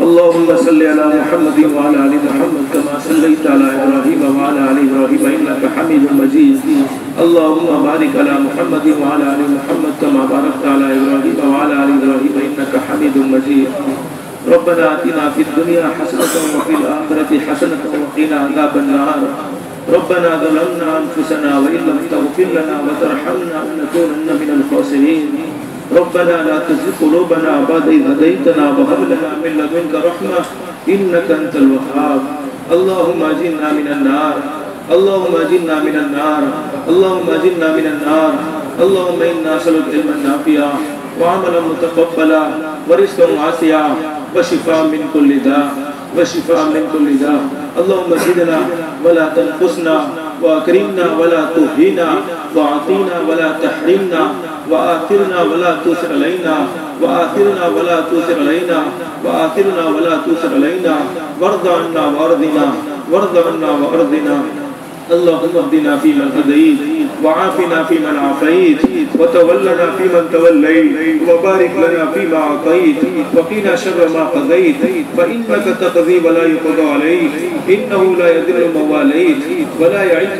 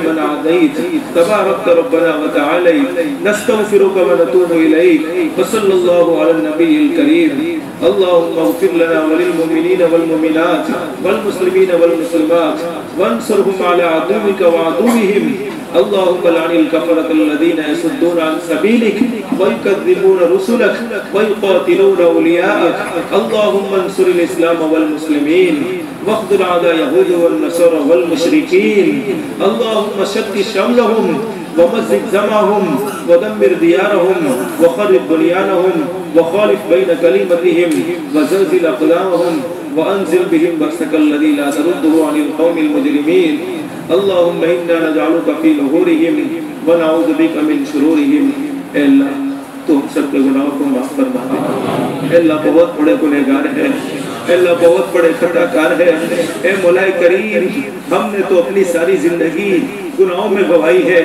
ए मौलाए करीम, तेरा खाया है। तेरे रिस्क से फ़ायदा उठाया है। तेरी हवाओं से फ़ायदा उठाया है। तेरी नमतों से फ़ायदा उठाया है। तेरे दिए हुए माल से फ़ायदा उठाया है। लेकिन मौला फिर भी हम ना कदरे है। तेरी नाफरमानी करते रहे हैं। ए मौलाए करीम, आज तो तेरे सामने भीख मांगने के लिए आए हैं। ए करीम, आज तो तेरे सामने भीख मांगने के लिए आए हैं कि तू हमारे गुनाहों को माफ़ फरमा दे। ए करीम, इतना बड़ा मजमा किसी सखी के दरवाजे पर चला जाए तो वो सखी को भी सखी को भी खाली हाथ वापस करते हुए शर्म आती है। और मौलाए करीम तू तो सखियों का सखी है तू तो मालिकों का मालिक है तू तो बादशाहों का बादशाह है। ए मौलाए करीम ते, तेरी जात बड़ी पाक है। ए मौलाए करीम हमने सारी ज़िंदगी गुनाहों में गुजार ली। मौला करीम ये तूने कितना मुबारक महीना नसीब फरमाया था। लेकिन मौला हम तो इतने नाकदरे हैं कि ये महीने की की भी सही कदर नहीं कर सके। और हमने ये महीना अपने हाथों से गफलत में गुजार दिया। मौला करीम, हम खुद देख रहे हैं, जो लोग रोजा रखे उनके भी दिन गुजर गए। और जिन लोगों ने रोजा न रखा, जिन लोगों ने नमाजें न पढ़ी, जिन लोगों ने तरावी न पढ़ी, उनके भी दिन गुजर गए। लेकिन मौला, वो लोग बड़े खुश नसीब है, जिन्होंने रोज़े रखे, जिन्होंने नमाजें पढ़ी। मौला तो अपने फजल करम से कबूल फरमा दे मौला, हमें तो हमारी इबादत इबादत पर कोई नाज नहीं है। और ना हमें उम्मीद है, ना हमें अपनी ज़िंदगी में कोई ऐसा अमल नज़र आता है, जिसकी वजह से हम उस अमल का वास्ता देकर उससे माफ़ी मांगे। मौला, हमारे पास तो ऐसा कोई अमल नहीं है, लेकिन तेरे महबूब हज़रत मोहम्मद मुस्तफ़ा सल्लल्लाहु अलैहि वसल्लम के अमल का वास्ता देते है। मेरे मौला, तेरे महबूब ने अपनी उम्मत के लिए कैसी कैसी तकलीफें उठाई है? तेरे महबूब ने अपनी उम्मत के लिए कैसे कैसे गम उठाए हैं? तेरे महबूब को अपनी उम्मत की हिदायत के लिए पत्थरों से मारा गया। ए मौला, तुझे उस घड़ी का वास्ता। ए मौला, तुझे उस घड़ी का वास्ता। मेरे महबूब को पत्थर पा रहे थे और मेरे महबूब के पाँव मुबारक लहू लुहान हो चुके थे। लेकिन मौला, तेरा महबूब कितना करीन है। तेरा महबूब का कितना दिल रहम वाला है। आसमान की तरफ़ हाथ उठाकर कहता है, अल्लाह, अगर मेरी उम्र में से इन्होंने ईमान कबूल नहीं किया तो उनकी औलाद ईमान कबूल करेगी। मौला तुझे उस घड़ी का वास्ता दिया जाता है। उस घड़ी के सबके हम सबके गुनाहों को माफ़ फरमा दे। मैं मौला, वो घड़ी हमारे आका ताजदार मदीना मोहम्मद मुस्तफ़ा सल्लल्लाहु अलैहि वसल्लम उहद के मैदान में गए। आपके दांत मुबारक को शहीद किया गया। साहबा फरमाते हैं कि हमें डर था कि कई नबी बदुआ करेंगे, पूरी उम्मत हलाक हो जाएगी। लेकिन साहबा फरमाते हैं, हमें इतना प्यारा नबी मिला कि दोनों हाथ आसमान की तरफ़ उठा कर कहता है कौमी फइन्नहुम ला ए अल्लाह मेरी कौम को माफ़ कर दे ए अल्लाह हमारे आका ने ये दुआ मांगी है अपनी कौम को माफ़ कर दे ए मौला करीम हमारे आका की उस घड़ी का वास्ता मौला करीम हमने तो अपनी सारी ज़िंदगी गफलतों में गुजारी है। हमारी ज़िंदगी माल की मोहब्बत में गुजर गई और माल की मोहब्बत ने हमें ऐसा अंधा कर दिया। कि तेरी मोहब्बत से भी गाफिल कर दिया, नमाजों से भी गाफिल कर दिया, रोज़े से भी गाफिल कर दिया मौला करीम, न हमें मरने का यकीन आया, न हमें जन्नत जहन्नम का यकीन आया। हम अपनी मनमानी ज़िंदगी दुनिया में गुजारते गए, लेकिन मौला करीम आज तुझसे माफ़ी मांगते हैं। मौला करीम आज तुझसे माफ़ी मांगते हैं। मौला, तेरा कुरान करीम मुकम्मल किया गया। पूरे तेरा वादा है कि जब कुरान करीम के मुकम्मल होने पर दुआ कबूल होती है मौला करीम, तुझे उस घड़ी का वास्ता। हम तो अपने कुरान पढ़ने को भी, वास्ता नहीं बनाते हैं। तेरे महबूब के हर अमल को वास्ता बनाते हैं। मौला हमारे पास तो ऐसा कौन सा अमल है? उस उस अमल का वास्ता दे। लेकिन मौला करीम हमारी ज़िंदगी सारी ज़िंदगी गुनाहों में गुजरी है। बोला तू तो बड़ा करीम है। अगर तूने अपने बंदों को माफ़ कर दिया तुझे कोई नहीं कहेगा कि तूने अपने बंदों को क्यों माफ़ किया था? बोला तू तो कानून को माफ़ करने के लिए तैयार हो गया था। बोला तू तो फिरौन को माफ़ करने के लिए तैयार हो गया था। बोला हम तो तेरे महबूब के उम्मती है। हमारे पीछे तो तेरे महबूब के आँसू है। हमारे पीछे तो तेरे महबूब की तकलीफें उठाई है। हमारे पीछे तो तेरे महबूब रोए हैं। बोला हमारे महबूब हज़रत मोहम्मद मुस्तफ़ा ने हमसे बहुत वफादारी की है। लेकिन हम गद्दार हैं। हम गद्दार हैं। बोला हम गद्दार हैं। हम इतने नालायक हैं कि अगर तू चाहता तो जिब्रील के ज़रिए थप्पड़ मारकर अपने घर से भगा सकता था, लेकिन मौला तूने नहीं भगाया। मौला तुमने नहीं भगाया। बल्कि मौला तू खुद कहता है कि मैं तो अपने नाफरमान बंदों की तोबा का इंतज़ार करता हूँ। मौला, ये घड़ी आ गई है। मौला, इतना बड़ा मजमा। इसमें उलमा भी मौजूद है। मौला, बच्चे भी मौजूद है। मौला, बूढ़े भी मौजूद है। ए मौला, ये बच्चों का तो कोई गुना नहीं है। मौला, बच्चों को का कोई गुना नहीं है। मौला, हमारी ज़िंदगी गुनाहों में गुजरी है। बच्चों का तो कोई गुना नहीं है। मौला, इस मजलिस को बच्चों के सदके माफ़ फरमा दे। मौला तेरा वादा है कि बूढ़ा जब मेरे सामने हाथ उठाता है तो मुझे बूढ़े की सुखेट दाढ़ी को देखकर हाथ को खाली करते हुए शर्म आती है। ए मौला, बूढ़े भी मौजूद है। ए मौला करीम, तू किसी एक को बहाना बनाकर हम सबके गुनाहों को माफ़ फरमा दे। ए मौला करीम आज का मुसलमान जिल्लत और रुसवाई में ज़िंदगी गुजारता है। आज मुसलमानों के हालात आज मुसलमान यहूदियों के हाथों से मारा जाता है। ए मौला करीम मौला करीम, फलस्तीन में मुसलमानों पर जुल्म किया गया अभी ऐसा हो गया हमारे हमारे गुनाहों की सजा वो भुगत रहे। हमारे गुनाहों की सजा वो भुगत रहे हो मौला वहाँ का हाल सुना, बोलने की लेकिन मौला तू मुसलमानों को अफियत नसीब फरमा दे। मौला मुसलमानों को अफियत नसीब फरमा दे। मौला छोटे छोटे बच्चों को आग में जलाया गया। मौला छोटे छोटे बच्चों को तलवारों के नीचे पर उठाया गया। मौला मुसलमानों के घर बर्बाद किए गए। मुसलमानों को तबाह किया गया। ए मौला करीम बड़ी बड़ी रात है मौला करीम बड़ी मुबारक रात है। मौला करीम, तू माफ़ फरमा दे। मौला कहीं ऐसा ना हो कि हमारे गुनाहों की सजा वो भुगत रहे हो। ए, मौला करीम कहीं ऐसा ना हो कि हमारे गुनाहों की सजा वो भुगत रहे हो। मौला, तू तो बड़ा करीम है? मौला, तूने तो मुसलमान की शान ये बनाई है। लेकिन आज मुसलमान तेरे हुक्म के सामने नहीं झुकता है। कि आज मुसलमान तेरी फरमा बरदारी नहीं करता है। इस वजह से मुसलमान जलील होता है। मौला आज हम तुझसे माफ़ी मांगते हैं। मौला फलस्तीन के मुसलमानों को आफियत नसीब फरमा दे। मौला आफियत नसीब फरमा दे। मौला वो बच्चे जो अपने बाप का चेहरा देखने के लिए तड़प रहे हैं। मौला हम तो अपनी औलाद को एक मिनट भी अपने से दूर हो जाने बर्दाश्त नहीं कर सकते। मौला करीम उनके बच्चों को जलाया गया। वो कैसे बर्दाश्त करेंगे? मौला वो भी तो तेरे बंदे हैं। मौला वो भी तो तेरे बंदे तू माफ़ फरमा दे मौला माफ़ी का ज़रिया तू ही है। अगर मौला तूने माफ़ न किया तो किसके पास जाएँगे? किससे भी मांगेंगे? इसलिए मौला आज माफ़ फरमा दे। मौला माफ़ फरमा दे।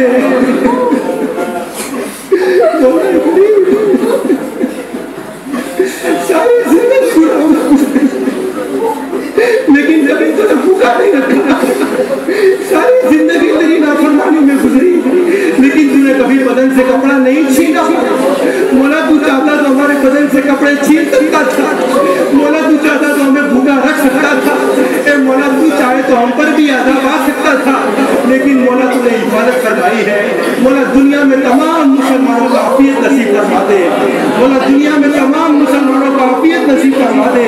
मोला, मुसलमानों को आपस में मोहब्बत ज़िंदगी नसीब करवा दे मोला, तेरा वादा है कि अगर मुसलमान एक प्लेट सुनकर होकर ज़िंदगी गुजारे, बातिल की कोई ताकत नहीं है कि मुसलमान के सामने आँख उठाकर देख सके। लेकिन मौला, आज मुसलमान मुसलमान की जान की दुश्मन हो चुका है। मुसलमान के माल का दुश्मन हो चुका है। मुसलमान मुसलमान के खून का प्यासा हो चुका है। करीम, ए मौला करीम, तेरे साहब तेरे महबूब के साहबा कराम के दरमियान में जैसी मोहब्बत थी। अल्लाह इस उम्मत में भी ऐसी मोहब्बत नसीब फरमा दे। मौला इस उम्मत में भी ऐसी मोहब्बत नसीब फरमा दे। मौला साहबा कराम की मोहब्बत, अरे मेरे मौला मेरे मौला साहबा किराम की मोहब्बत खुद जान दे दी प्यासे रह गए। लेकिन अपने भाई से पानी पहले पीना पसंद न किया। और इसी तरीके से साथ साहबा किराम ने जान दे दी, लेकिन अपने भाई की मोहब्बत में पानी पहले पीना गवारा न किया। ए मौला, हमने तो मुसलमानों के हक को मारा है। मौला, हमने मुसलमानों के हक को दबाया है। ए मौला, हमने मुसलमानों से दुश्मनी की है। ए मौला, हमने अपनी माँ बाप को परेशान किया है। मौला करीम माफ़ फरमा दे। मौला करीम माफ़ फरमा दे। मौला करीम वालिदैन बड़ी बड़ी बड़ी ऊँची नेमत है। ए, मौला, तेरा बड़ा करम है। तेरा बड़ा एहसान है। आज हमने जो भी किया है, हम जिस मकाम पर है, मौला करीम ये वालिदैन की दुआओं का सदका है। मौला, हम सब के माँ बाप के गुनाहों को माफ़ फरमा दे। और जिनके वालिदैन दुनिया से रुखसत हो चुके हैं, मौला, उनकी करवट करवट मफफिरत फरमा दे। उनके दर्जात को बुलंद फरमा दे। उनको जन्नत फिरदौस में आला से आला मकाम नसीब फरमा दे मौला करीम हम बड़े कमज़ोर हैं। हमें मांगना नहीं आता है। हम नहीं मांग सकते हैं। लेकिन तू जानता है कि हमारी ज़रूरत के लिए क्या क्या चीज़ें हैं। मौला, हमारी जरूरतों को हमसे बेहतर तू ही जानने वाला है। जो मांगा वो भी अता फरमा दे। जो मांगने से रह गया वो भी अता फरमा दे। मौला, हमारे तमाम भाइयों को नमाज़ का पाबंद बना दे। तमाम भाइयों को मस्जिद का आबाद करने वाला बना दे। तमाम भाइयों के चेहरे पर नबी करीम सल्लल्लाहु अलैहि वसल्लम की सुन्नत को ज़िंदा फरमा दे।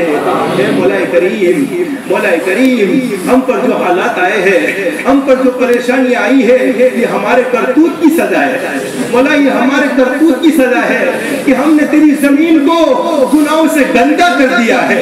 मौला मौला मौला, जब कोई बंदा गुनाह करता है तो ज़मीन तेरे सामने रोती है और ज़मीन तुझसे कहती है कि अल्लाह इजाज़त दे दे, इस बंदे को डसा दू। लेकिन खुद ज़मीन को कहता है तू खुद ज़मीन को कहता है, ज़मीन तेरा बंदा है तो तू दसा दे।